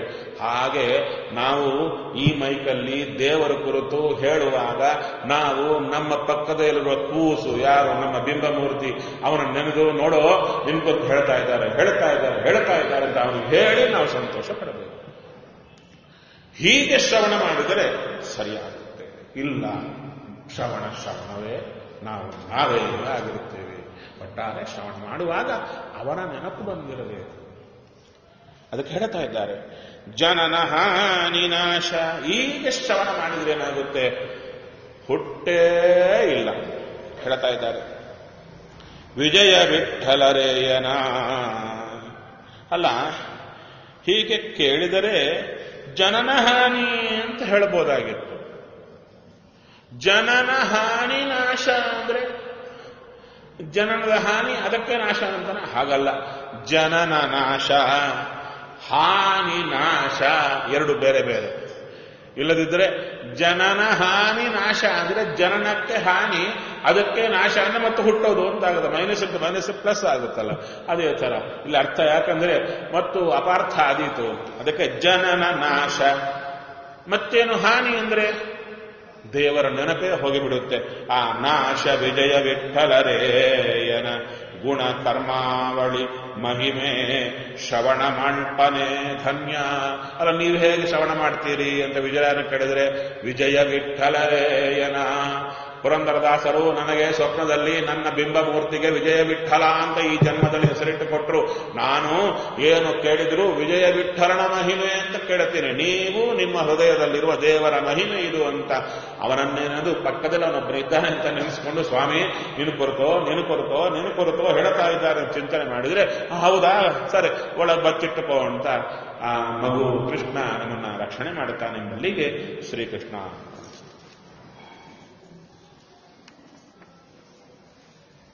ಇನ್ನೊಂದ್ಸಲ ಬಿಡಿ ನಾಳೆ ನಾಳೆ ಇರಲ್ಲ ನಾಳದ್ದು ಇರುತ್ತೆ. ಒಂದು ನಿಮಿಷ. ಇನ್ನೊಂದು ವಿಚಾರ ಹೇಳಬೇಕು ಅಂತಿದೆ. ಈಗ ಇದೇನು ಪ್ರವಚನಗಳಾಗ್ತಾ ಇವೆ? ಎಲ್ಲೆಲ್ಲಿ ಆಗ್ತಾ ಇರೋದೆಲ್ಲ ವಾಟ್ಸಪ್ ಅಲ್ಲಿ ಗ್ರೂಪ್ ಮಾಡಿ ಅದರಲ್ಲಿ ಕಳಿಸ್ತಾ ಇರೋದು ಎಲ್ಲರಿಗೂ ಪ್ರಾಯಶಃ ಎಲ್ಲರಿಗೂ ಗೊತ್ತು. ಇದೇನಾಗ್ತಾ ಇದೆ? ನನ್ನ ಈ ಸೆಲ್ ಫೋನಲ್ಲಿ ವಾಟ್ಸಪ್ನಲ್ಲಿ ಸೇರಿದಂಥ ಕಾಣಿಸ್ಬೇಕಂತ. ವಾಟ್ಸಪ್ನಲ್ಲಿ ಈ ಗ್ರೂಪಲ್ಲಿ ಸೇರಿದವರು ನನ್ನ ಕಾಂಟ್ಯಾಕ್ಟ್ ಲಿಸ್ಟ್ ಎಷ್ಟಿದೆ ಗೊತ್ತಾ? ಹದಿನಾರ, ಹದಿನಾರು ನೂರಕ್ಕೆ ಹತ್ತಿರ ಬರ್ತಾ ಇದೆ. ಹದಿನಾರು ನೂರು, ಸಾವಿರದ ಆರುನೂರು ಜನ ಗ್ರೂಪಲ್ಲಿದ್ದಾರೆ. ಒಂದೇ ಚಿಂತನಾ ಗ್ರೂಪ್. ಹದಿನಾರು ಬ್ಯಾಚ್ ಆಗಿದೆ. ಒಂದೊಂದು ಗ್ರೂಪಿಗೆ ನೂರಕ್ಕಿಂತ ಹೆಚ್ಚು ಮಾಡಲಿಕ್ಕಿಲ್ಲ. ಅದು ಇನ್ನ ದಿನಕ್ಕೆ ಹದಿನೈದು, ಇಪ್ಪತ್ತು ಜನ ನಮ್ಮನ್ನ ಆಡ್ ಮಾಡಿ ಮಾಡಿ ಮಾಡಿ ಅಂತ ಗೊತ್ತಿಲ್ಲದವರೆಲ್ಲ ಕಳಿಸ್ತಾ ಇದ್ದಾರೆ. ಹೀಗೆ ಆಡ್ ಮಾಡಿ ಅಂತ ಕಳಿಸೋರು ಒಂದು ಇಪ್ಪತ್ತು ಜನ ಮೂವತ್ತು ಜನ ದಿನಕ್ಕೆ. ಹಾಗೆ ಅವರ ಡೌಟ್ಸ್ ಎಲ್ಲ ಕೇಳೋರು ಒಂದು ಇಪ್ಪತ್ತು, ಮೂವತ್ತು ಜನ. ಅವರೆಲ್ಲ ಮೆಸೇಜ್ ಕಳಿಸ್ತಾರೆ. ಇನ್ನ ಅದಲ್ಲದೆ ನಮಗೆ ಈ ಫೋಟೋ ಸಿಕ್ತು, ಆ ಫೋಟೋ ಸಿಕ್ತು ಅಂತ ಪಾಪ ನನಗೆ ಸಹಾಯ ಮಾಡಬೇಕು ಅಂತ ಕಳಿಸೋರು. ಒಟ್ಟಾರೆ ನಾನು ಒಂದು ಸಲ ವ್ಯಾಟ್ಸಪ್ ಓಪನ್ ಮಾಡಿದರೆ ಅದು ಯಾವಾಗಾದರೂ ನನಗೊಂದು ನಾಲ್ಕು ಗಂಟೆ ಹೋಗಿಬಿಡ್ತಾ. ನಾನು ನಿತ್ಯ ಪ್ರವಚನ ಮಾಡಿದ್ದು ಹಾಕಬೇಕು. ಒಂದು ಗ್ರೂಪ್ಗಲ್ಲ, ಹದಿನೈದು, ಹದಿನಾರು ಗ್ರೂಪಿಗೆ ಹಕ್ಕ ಹಕ್ಕ ಹಕ್ಕ ಹಕ್ಕ ಬರಬೇಕು. ಎಲ್ಲ ಒಂದೇ ಸಲ ಹಾಕಿದರೆ ತಿರ್ಗಾ ಮೂಲಕ ಬಂದ್ಬಿಡುತ್ತೆ ನಿಮಗೆ. ಅದು ಸೀರಿಯಲ್ ಆಗಿ ಬರಬೇಕಾದ್ರೆ ಒಂದು ಹಾಕಬೇಕು, ಪ್ರವಚ, ಒಂದು ಫೋಟೋ ಒಂದು ಪ್ರವಚನ ಹಾಕಬೇಕು, ಅದು ಹದಿನಾರು ಗ್ರೂಪ್ ಹಾಕಬೇಕು. ಮತ್ತ ಇನ್ನೊಂದು ಫೋಟೋ ಇನ್ನೊಂದು ಪ್ರವಚನ ಹಾಕಬೇಕು, ಮತ್ತ ಹದಿನಾರು ಗ್ರೂಪ್ ಪೋಸ್ಟ್ ಮಾಡಬೇಕು. ಇದಕ್ಕೆ ಒಂದು ಗಂಟೆ ಆದರೆ ಮಿಕ್ಕ, ಮಿಕ್ಕವ್ರನ್ನ ಆಡ್ ಮಾಡೋದು ಕಾದ್ಕೊಂಡಿರ್ತಾರೆ. ಇನ್ನ ಆಡ್ ಮಾಡಿಲ್ಲ ಆಚಾರರು ಅಂತ. ಇನ್ನ ಇನ್ನೊಂದು ಕಡೆ ನೋಡಿದ್ರೆ ನಮ್ಮ ಕ್ವಶನ್ಸ್ ಆನ್ಸರೇ ಕೊಡಲ್ಲ ಆಚಾರರು ಅಂತ. ಇದು ನೋಡಿದ್ರೆ ನಾನು ದಿನಕ್ಕೆ ತುಂಬಾ ಆಗಿ ಬಿಡ್ತಾ ಇದೆ. ನನ್ನ ಚಿಂತನೆ ಏನು ಏನಿಲ್ಲ. ವ್ಯಾಟ್ಸಪ್ ಮುಟ್ಟಬೇಕು ಅಂದ್ರೆ ಹೆದರಿಕೆ ಆಗಿಬಿಡ್ತಾ ಇದೆ. ಎಲ್ಲ ರೀತಿ ಆಗಿಬಿಡ್ತಾ ಇದೆ. ಆದ್ರಿಂದ ಇದು ನನ್ನ ವೈಯಕ್ತಿಕ ವಿಚಾರ. ಆದರೆ ತುಂಬ ಜನ ಅಲ್ಲಿ ಸೇರಬೇಕು ಅಂತಿದ್ದಾರೆ. ನನ್ನ ಒಬ್ಬನ ಹತ್ರ ಸೇರಬೇಕು ಅಂದ್ರೆ ಅಷ್ಟು ಜನ ಕಳಿಸ್ಬೇಕು, ಇದು ಮಾಡಬೇಕು ಇದು ಮಾಡಬೇಕು. ಇಲ್ಲ, ಇದನ್ನ ಇನ್ನೊಬ್ಬರಿಗೆ ಕೊಟ್ಟು ಮಾಡಿಸೋಣ ಅಂದ್ರೆ ಅವರವರ ಕಾರ್ಯಗಳು ತುಂಬಾ ಇರುತ್ತೆ. ಅವರು ಪೋಸ್ಟ್ ಮಾಡದಿದ್ರೆ ಆ ಗ್ರೂಪಿಗೆ ಬರೋದಿಲ್ಲ ಇನ್ನ. ಆ ಹೊತ್ತಿನಿಂದ ಏನೋ ತೊಂದರೆ ಇತ್ತು, ಏನೋ ಇತ್ತು, ಆಗಿಲ್ಲ ಅಂದ್ರೆ ಅವ್ರಿಗೆ ಆಗಲ್ಲ. ಸೊ ಇದಕ್ಕೆಲ್ಲ ಏನು ಸೊಲ್ಯೂಷನ್ ಅಂತ ನೋಡಿದಾಗ ಯಾರಿಗೂ ಕೂಡ ಪ್ರವಚನ ತಪ್ಪಬಾರದು. ಹಾಗೆ ಈ ಹಳೆ ಪ್ರವಚನಗಳೆಲ್ಲ ಕೂಡ, ಹಳೆ ಪ್ರವಚನಗಳು ಕೇಳಬೇಕು ಅಂದಾಗ ಬಹಳ ಜನ ಹೆಣ್ಣು ಮಕ್ಕಳಿಗೆ ಅದು ನನ್ನ ವೆಬ್ಸೈಟ್ ಇದೆ, ಕರ್ನೂಲ್ ಆಚಾರ್ ಡಾಟ್ ಕಾಮ್ ಅಂತ. ಅದಕ್ಕೆ ಹೋಗಿ ನೋಡಿ ಅಂದ್ರೆ ಪಾಪ ಹೋಗಿ ನೋಡ್ಲಿಕ್ಕೆ ಅವರಿಗೆ ಗೊತ್ತಿಲ್ಲ. ಆಪರೇಟ್ ಮಾಡಿ ಗೊತ್ತಿಲ್ಲ, ಏನೂ ಗೊತ್ತಿಲ್ಲ. ಗೊತ್ತಿದ್ದವರಿಗೆ ಆಗಲ್ಲ. ಅಂಥವ್ರು ಅಲ್ಲಿ ಹೋಗಿ ಆ ಡೌನ್ಲೋಡ್ ಅಂತ ಒಂದಿದ್ರೆ ಅದರಲ್ಲಿ ಹೋಗಿ ಸೆಲೆಕ್ಟ್ ಮಾಡ್ಕೊಂಡು ನೋಡ್ಕೋಬೇಕು. ಆಗಲ್ಲದು ಇಂಥವರಿಗೆಲ್ಲ ತುಂಬಾ ಫೋನ್ ಮಾಡ್ತಾರೆ. ಆಚಾರ್ಯ ನಮಗೆ ನಿಮ್ಮ ಷೋಡಶಿ ಚತುರ್ದಶಿ ಕೇಳಬೇಕು ಅಂತಿದೆ. ಸಿ ಡಿ ಇದ್ರೆ ನೋಡಿ. ಸಿ ಡಿ ಎಷ್ಟು ಕಾಲ ತಿರುಗುತ್ತೆ? ಆಗಲ್ಲ. ಇದಕ್ಕೆಲ್ಲ ಒಂದು ಸೊಲ್ಯೂಷನ್ ಏನಾದರೂ ಇದ್ರೆ ಚೆನ್ನಾಗಿರುತ್ತಲ್ಲ ಅಂತ ಯೋಚನೆ ಮಾಡಿದಾಗ ನನ್ನ ಶಿಷ್ಯ ಶ್ರೀಕಾಂತ ಅಂತ ಹುಡುಗ ತುಂಬಾ ಇದು ಮಾಡಿ ಒಂದು ಸ್ವಾಮಿ ಪ್ರೇರಣೆ ಮಾಡಿದ್ದು. ಒಂದು ಅಪ್ಲಿಕೇಶನ್ ತಯಾರು ಮಾಡಿದೆ. ಇವಾಗ ವ್ಯಾಟ್ಸಪ್ ಇದೆಯಲ್ಲ, ಅದನ್ನು ಅಪ್ಲಿಕೇಶನ್ ಅಂತ ಕರೀತಾರೆ. ಸೆಲ್ ಫೋನಲ್ಲಿ ಬರುತ್ತದೆ. ಅದನ್ನು ಆ್ಯಪ್ ಅಂತ ಕರೀತಾರೆ. ಅಪ್ಲಿಕೇಶನ್ ತುಂಬಾ ಉದ್ದ ಹೇಳಲಿಕ್ಕೆ ಆಗದೆ ಆ್ಯಪ್ ಅಂತ ಕರೀತಾರೆ ನನ್ನ ಹೌದು? ಆ ಅಂಥ ವ್ಯಾಟ್ಸಪ್ ಥರನೇ ನಾವೇ ಒಂದು ಅಪ್ಲಿಕೇಶನ್ ತಯಾರು ಮಾಡ್ತಾ ಇದ್ದೀವಿ. ನಾಳೆ ಹತ್ತನೇ ತಾರೀಕು ಬಿಡುಗಡೆ ಮಾಡಬೇಕು ಒಂದು ಸಂಕಲ್ಪ, ದೇವರ ಸಂಕಲ್ಪ ಆದ್ರೆ ಬಿಡುಗಡೆ ಆಗುತ್ತದೆ. ಏನೂ ಇಲ್ಲ. ನಿಮ್ಮ ವಾಟ್ಸಪ್ ಅಲ್ಲಿ ಅವತ್ತು ಮೆಸೇಜ್ ಜೊತೆಗೆ ಒಂದು ಬ್ಲೂ ಕಲರಲ್ಲಿ ಲಿಂಕ್ ಅಂತ ಬರುತ್ತೆ. ಒಂದು ವೇಳೆ ನಾನು ಹೇಳಿದ್ದೆಲ್ಲ ನಿಮಗೆ ಅರ್ಥ ಆಗದಿದ್ರೆ ಚಿಂತೆ ಇಲ್ಲ. ನಿಮ್ಮ ಮನೆಯಲ್ಲಿ ಸ್ವಲ್ಪ ಕಂಪ್ಯೂಟರು ಸೆಲ್ ಫೋನು ಯೂಸ್ ಮಾಡುವಂತ ಹುಡುಗರು ಇರ್ತಾರಲ್ಲ, ನಿಮ್ಮ ಮನೆಯಲ್ಲಿಲ್ಲ, ಪಕ್ಕ ಮನೆಯಲ್ಲಿ ಇರ್ತಾರಲ್ಲ, ಅವರಿಗೆ ನೋಡಿಸಿ ಸ್ವಲ್ಪ ಮಾಡಿಕೊಡಯ್ಯ ಅಂದ್ರೆ ಮಾಡಿಕೊಟ್ಬಿಡ್ತಾರೆ. ಎಲ್ಲರಿಗೂ ಆಗುತ್ತೆ. ಏನಾಗುತ್ತೆ? ಆ ಲಿಂಕ್ ಕೊಡ್ತೇವೆ. ಇವಾಗ ಇಲ್ಲದಿದ್ರೂ ಕೂಡ ಪ್ಲೇ ಸ್ಟೋರ್ ಅಂತ ಇರುತ್ತೆ ಗೂಗಲ್ ಪ್ಲೇ ಸ್ಟೋರ್ ಅಂತ ಇರುತ್ತೆ ಎಲ್ಲ ಸೆಲ್ ಫೋನ್ ಬಳಸಲಿಕ್ಕೆ ಬಂದವರಿಗೆಲ್ಲ ಗೊತ್ತಿರುತ್ತೆ. ಅದರೊಳಗೆ ಇದೊಂದು ಆಪ್ ಅಂತ ಇರುತ್ತೆ ಕರ್ನೂಲಾಚಾರ್ನ ಟೈಪ್ ಮಾಡಿಬಿಟ್ರೆ ಆ್ಯಪ್ ಬಂದ್ಬಿಡುತ್ತೆ. ಆ ಆ್ಯಪ್ನ ಇಂಟರ್ನೆಟ್ ಕನೆಕ್ಷನ್ ಇಟ್ಕೊಂಡು ಒಂದು ಸಲ ಡೌನ್ಲೋಡ್ ಮಾಡಿಕೊಂಡ್ರೆ ನಿಮ್ಮ ಸೆಲ್ ಫೋನಲ್ಲಿ ಕರ್ನೂಲಾಚಾರ್ ವಾಣಿ ಅಂತ, ಅದಕ್ಕೆ ಹೆಸರು ಕೊಟ್ಟದ್ದು, ಕರ್ನೂಲಾಚಾರ್ ವಾಣಿ ಅಂತ ಹೆಸರು ಕೊಟ್ಟದ್ದು, ಅದು ನಿಮಗೆ ಬಂದ್ಬಿಡುತ್ತೆ. ಅದು ಬಂದ ಮೇಲೆ ಒಂದ್ಸಲ ಇಂಟರ್ನೆಟ್ ಕನೆಕ್ಷನ್ ಇತ್ತಾ, ನೀವು ಅದನ್ನು ಓಪನ್ ಮಾಡಿದ ಕೂಡಲೇ ಎಲ್ಲ ಪ್ರವಚನಗಳ ಲಿಸ್ಟು ಹಿಂದೆ ಆಗಿದ್ದು, ಈಗ ಆಗ್ತಾ ಇರೋದು ಎಲ್ಲ ಬಂದ್ಬಿಡುತ್ತೆ. ಅದನ್ನು ಪ್ರೆಸ್ ಮಾಡಿದ ಕೂಡಲೇ ಇವಾಗ ವಾಟ್ಸಪ್ ಅಲ್ಲಿ ನಾನು ಕಳಿಸಿದ ಕೂಡಲೇ ನೀವು ಇನ್ನು ಏನು ನೆಟ್ ಓಪನ್ ಮಾಡಿರಲ್ಲ. ನೆಟ್ ಓಪನ್ ಮಾಡಿದ ಕೂಡಲೇ ನಿಮಗೆ ಯಾವುದು ಪ್ರವಚನದ್ದು, ರೆಕಾರ್ಡರ್ ಹೆಂಗ್ ಬರುತ್ತದು? ಅಂದ್ರೆ ಬರ್ತಾ ಇದೆ ಅಂತಾರೆ, ಚೂರು ತಿರುಗ್ತಾ ತಿರುಗ್ತಾ ಇದ್ದು ನಂತರ ಬಂದ್ಬಿಡುತ್ತದೆ. ಪ್ರೆಸ್ ಮಾಡಿದ ಕೂಡಲೇ ಆಗುತ್ತೆ. ಹಾಗೆ ನನ್ನ ಎಲ್ಲ ಪ್ರವಚನಗಳು ಕೂಡ ಒಂದು ಸಲ ಪ್ರೆಸ್ ಮಾಡಿದ ಕೂಡಲೇ ಡೌನ್ಲೋಡ್ ಆಗ್ಲಿಕ್ಕೆ ಅಂದ್ರೆ ತಿರುಗ್ತಾ ಶುರು ಆಗುತ್ತೆ.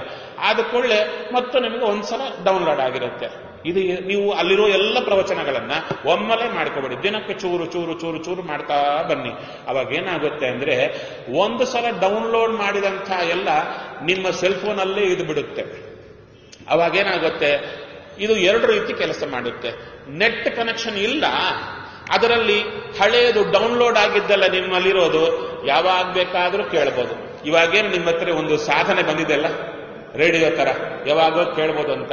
ಆ ತರ ಸೆಲ್ ಫೋನಲ್ಲೇ ಇರುತ್ತೆ. ಇಂಟರ್ನೆಟ್ ಕನೆಕ್ಷನ್ ಇಲ್ಲ. ಅದನ್ನ ಪ್ರೆಸ್ ಮಾಡಿದರೆ ಎಲ್ಲ ಪ್ರವಚನಗಳಿರುತ್ತೆ. ಅದರಲ್ಲಿ ಲಿಸ್ಟ್ ಬರ್ತಾ ಇರುತ್ತೆ. ಯಾವುದು ಬೇಕೋ ಅದು ಕೇಳಬಹುದು ಅದೇ ತರ ಎಲ್ಲ ನೀಟಾಗಿ ಅರೇಂಜ್ ಮಾಡಿದ್ದಾರೆ. ಇಂಟರ್ನೆಟ್ ಕನೆಕ್ಷನ್ ಇತ್ತ ಮಾರನೇ ದಿನ ಬೆಳಿಗ್ಗೆ ಎದ್ದ ಕೊಳ್ಳೆ ಇಂಟರ್ನೆಟ್ ಕನೆಕ್ಷನ್ ಇಟ್ಕೊಂಡು ಆ ಆಪ್ ಪ್ರೆಸ್ ಮಾಡಿದ ಕೂಡಲೇ ನಾನು ಇವತ್ತು ಏನು ಪ್ರವಚನ ಆಗಿರುತ್ತೆ ವ್ಯಾಟ್ಸಪ್ ಅಲ್ಲಿ ಹಾಕಿದ್ರೆ ಬೆಳಿಗ್ಗೆ ವ್ಯಾಟ್ಸಪ್ ಅಲ್ಲಿ ಬರ್ತಾ ಇದೆಯಲ್ವಾ? ಅದೇ ತರ ಆ ಆಪ್ ಅಲ್ಲಿ ಬಂದು ಕೂತಿರುತ್ತೆ. ಬೆಳಿಗ್ಗೆ ಎದ್ದ ಕೂಡಲೇ ಪ್ರೆಸ್ ಮಾಡಿದರೆ ನನ್ನ ಪ್ರವಚನ ಎಲ್ಲ ಅದರಲ್ಲಿ ಚೆನ್ನಾಗಿ ನಿಮ್ಗೆ ಬರುತ್ತೆ ಅಂದ್ರೆ ವಾಟ್ಸಪ್ ಅಲ್ಲಿ ಇಲ್ಲಿ ಬಾರದೇ ಇರುವವರು ಮನೆಯಲ್ಲಿ ಹೇಗೆ ನೋಡ್ತಾ ಇದ್ದೀರೋ ಹಾಗೆ ಆ ಅಪ್ಲಿಕೇಶನ್ ಅಲ್ಲಿ ನೀವು ಮಾಡಬಹುದು. ಈ ಅಪ್ಲಿಕೇಶನ್ ಅದು ನನ್ನ ಬಂದು ಜಾಯಿನ್ ಆಗಿ ಬಂದು ರಿಕ್ವೆಸ್ಟ್ ಮಾಡಿ ಏನು ಬೇಕಾಗಿಲ್ಲ. ಎಷ್ಟು ಲಕ್ಷ ಜನ ಬೇಕಾದರೂ ಡೌನ್ಲೋಡ್ ಮಾಡಿ ಇಟ್ಟುಕೊಂಡು ಕೇಳಬಹುದು. ನನಗೂ ಕೂಡ ಇಷ್ಟು ಗ್ರೂಪ್ಗಳು ಮಾಡಿ, ಅದರಲ್ಲಿ ಇಷ್ಟಿಷ್ಟು ಜನ ಅಂತ ವಾಟ್ಸಪ್ ಹೆಚ್ಚು ಅದನ್ನ, ಒಂದು ನೂರು ಜನಕ್ಕಿಂತ ಒಂದು ಗ್ರೂಪ್ ಅಲ್ಲಿ ಅಲೋ ಮಾಡಲ್ಲ.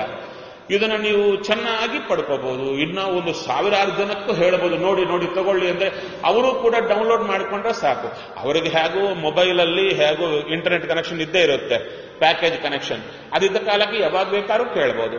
ಹಾಗೆ ಮಾಡ್ತಾ ಇದ್ದೀನಿ. ಅವಾಗ ಏನಾಗುತ್ತೆ ಅಂದ್ರೆ ಆ, ನಾಳೆ ಹತ್ತನೇ ತಾರೀಕು ಬಂದ ಮೇಲೆ ಪ್ರತಿಯೊಂದು ಪ್ರವಚನ ಹಾಗೆ ಹಾಕ್ತೇನೆ. ವಾಟ್ಸಪ್ ಅಲ್ಲಿ ಹಾಕಲ್ಲ. ವಾಟ್ಸಪ್ ಅಲ್ಲಿ ಬರೀ ಇದು ಸರ್ಕ್ಯುಲರ್ ಹೇಗೆ ಅಂದ್ರೆ ಇದರ ಹೇಗೆ ಬಳಸಬೇಕು, ಲಿಂಕು ಹೇಗೆ ಬಳಸಬೇಕು, ಅದನ್ನ ಹೇಗೆ ಬಳಸಬೇಕು ಎಂಬ ವಿಡಿಯೋ ಸರಿ. ನಾನು ಇವಾಗ ಹೇಗೆ ಹೇಳಿದ್ದೀನಲ್ಲ, ಆ ವಿಡಿಯೋ ಸಹಿತವಾಗಿ ಹೇಗೆ ಸ್ಟೆಪ್ ಬೈ ಸ್ಟೆಪ್ ಒಂದು ಬರದದ್ದು, ಹಾಗೆ ಕಳೆದ ವಿಡಿಯೋ ಅಂದ್ರೆ ಆಡಿಯೋ ಎಲ್ಲ ಇರುತ್ತೆ. ಅದರಲ್ಲಿ ನೀವು ಕೇಳಿ ಕೇಳಿ ಕೇಳಿ ಚೆನ್ನಾಗಿ ಅದನ್ನ ಸೆಟ್ ಮಾಡಿಕೊಂಬ ಪರ್ಯಂತ ಒಂದು ವಾರ ಪರ್ಯಂತ ಅದೇ ಸರ್ಕ್ಯುಲರ್ ಬರ್ತಾ ಇರುತ್ತೆ. ಕೇಳಬೇಕಂದ್ರೆ ಮಾತ್ರ ವ್ಯಾಟ್ಸಪ್ ಅಲ್ಲಿ ಇರಲ್ಲ. ಹತ್ತನೇ ತಾರೀಕು ಆದ್ಮೇಲೆ ಎಲ್ಲ ಅದರಲ್ಲೇ ಬರ್ತಾ ಇರುತ್ತೆ. ಅದರಲ್ಲೇ ನೋಡಿಕೊಂಡು ಮಾಡಿಕೊಂಡ್ರೆ ಕೊನೆಗೆ ನಂಗೆ ಏನಾಗುತ್ತೆ? ನಿತ್ಯ ವ್ಯಾಟ್ಸಪ್ ದರ್ಶನ ನಂಗೆ ತಪ್ಪುತ್ತೆ. ಏನಾಗುತ್ತೆ? ನನ್ನ ಪ್ರವಚನ ಆದ ಕೂಡಲೇ ನಾನು ಸೈಟ್ಗೆ ಅಪ್ಲೋಡ್ ಮಾಡಿಬಿಟ್ರೆ ಎರಡು ನಿಮಿಷದಲ್ಲಿ ನನ್ನ ಕೆಲಸ ಮುಗೀತು. ನಿಮ್ಗೆಲ್ಲ ಕೈಗೆ ಬೆಳಿಗ್ಗೆ ನೀವು ಓಪನ್ ಮಾಡಿದ ಕೂಡಲೇ ಎಲ್ಲರಿಗೂ ಸಿಗುತ್ತೆ. ಈ ಕೆಲಸ ನಾವು ಮಾಡಬೇಕು ಅಂತಿದ್ದೇವೆ.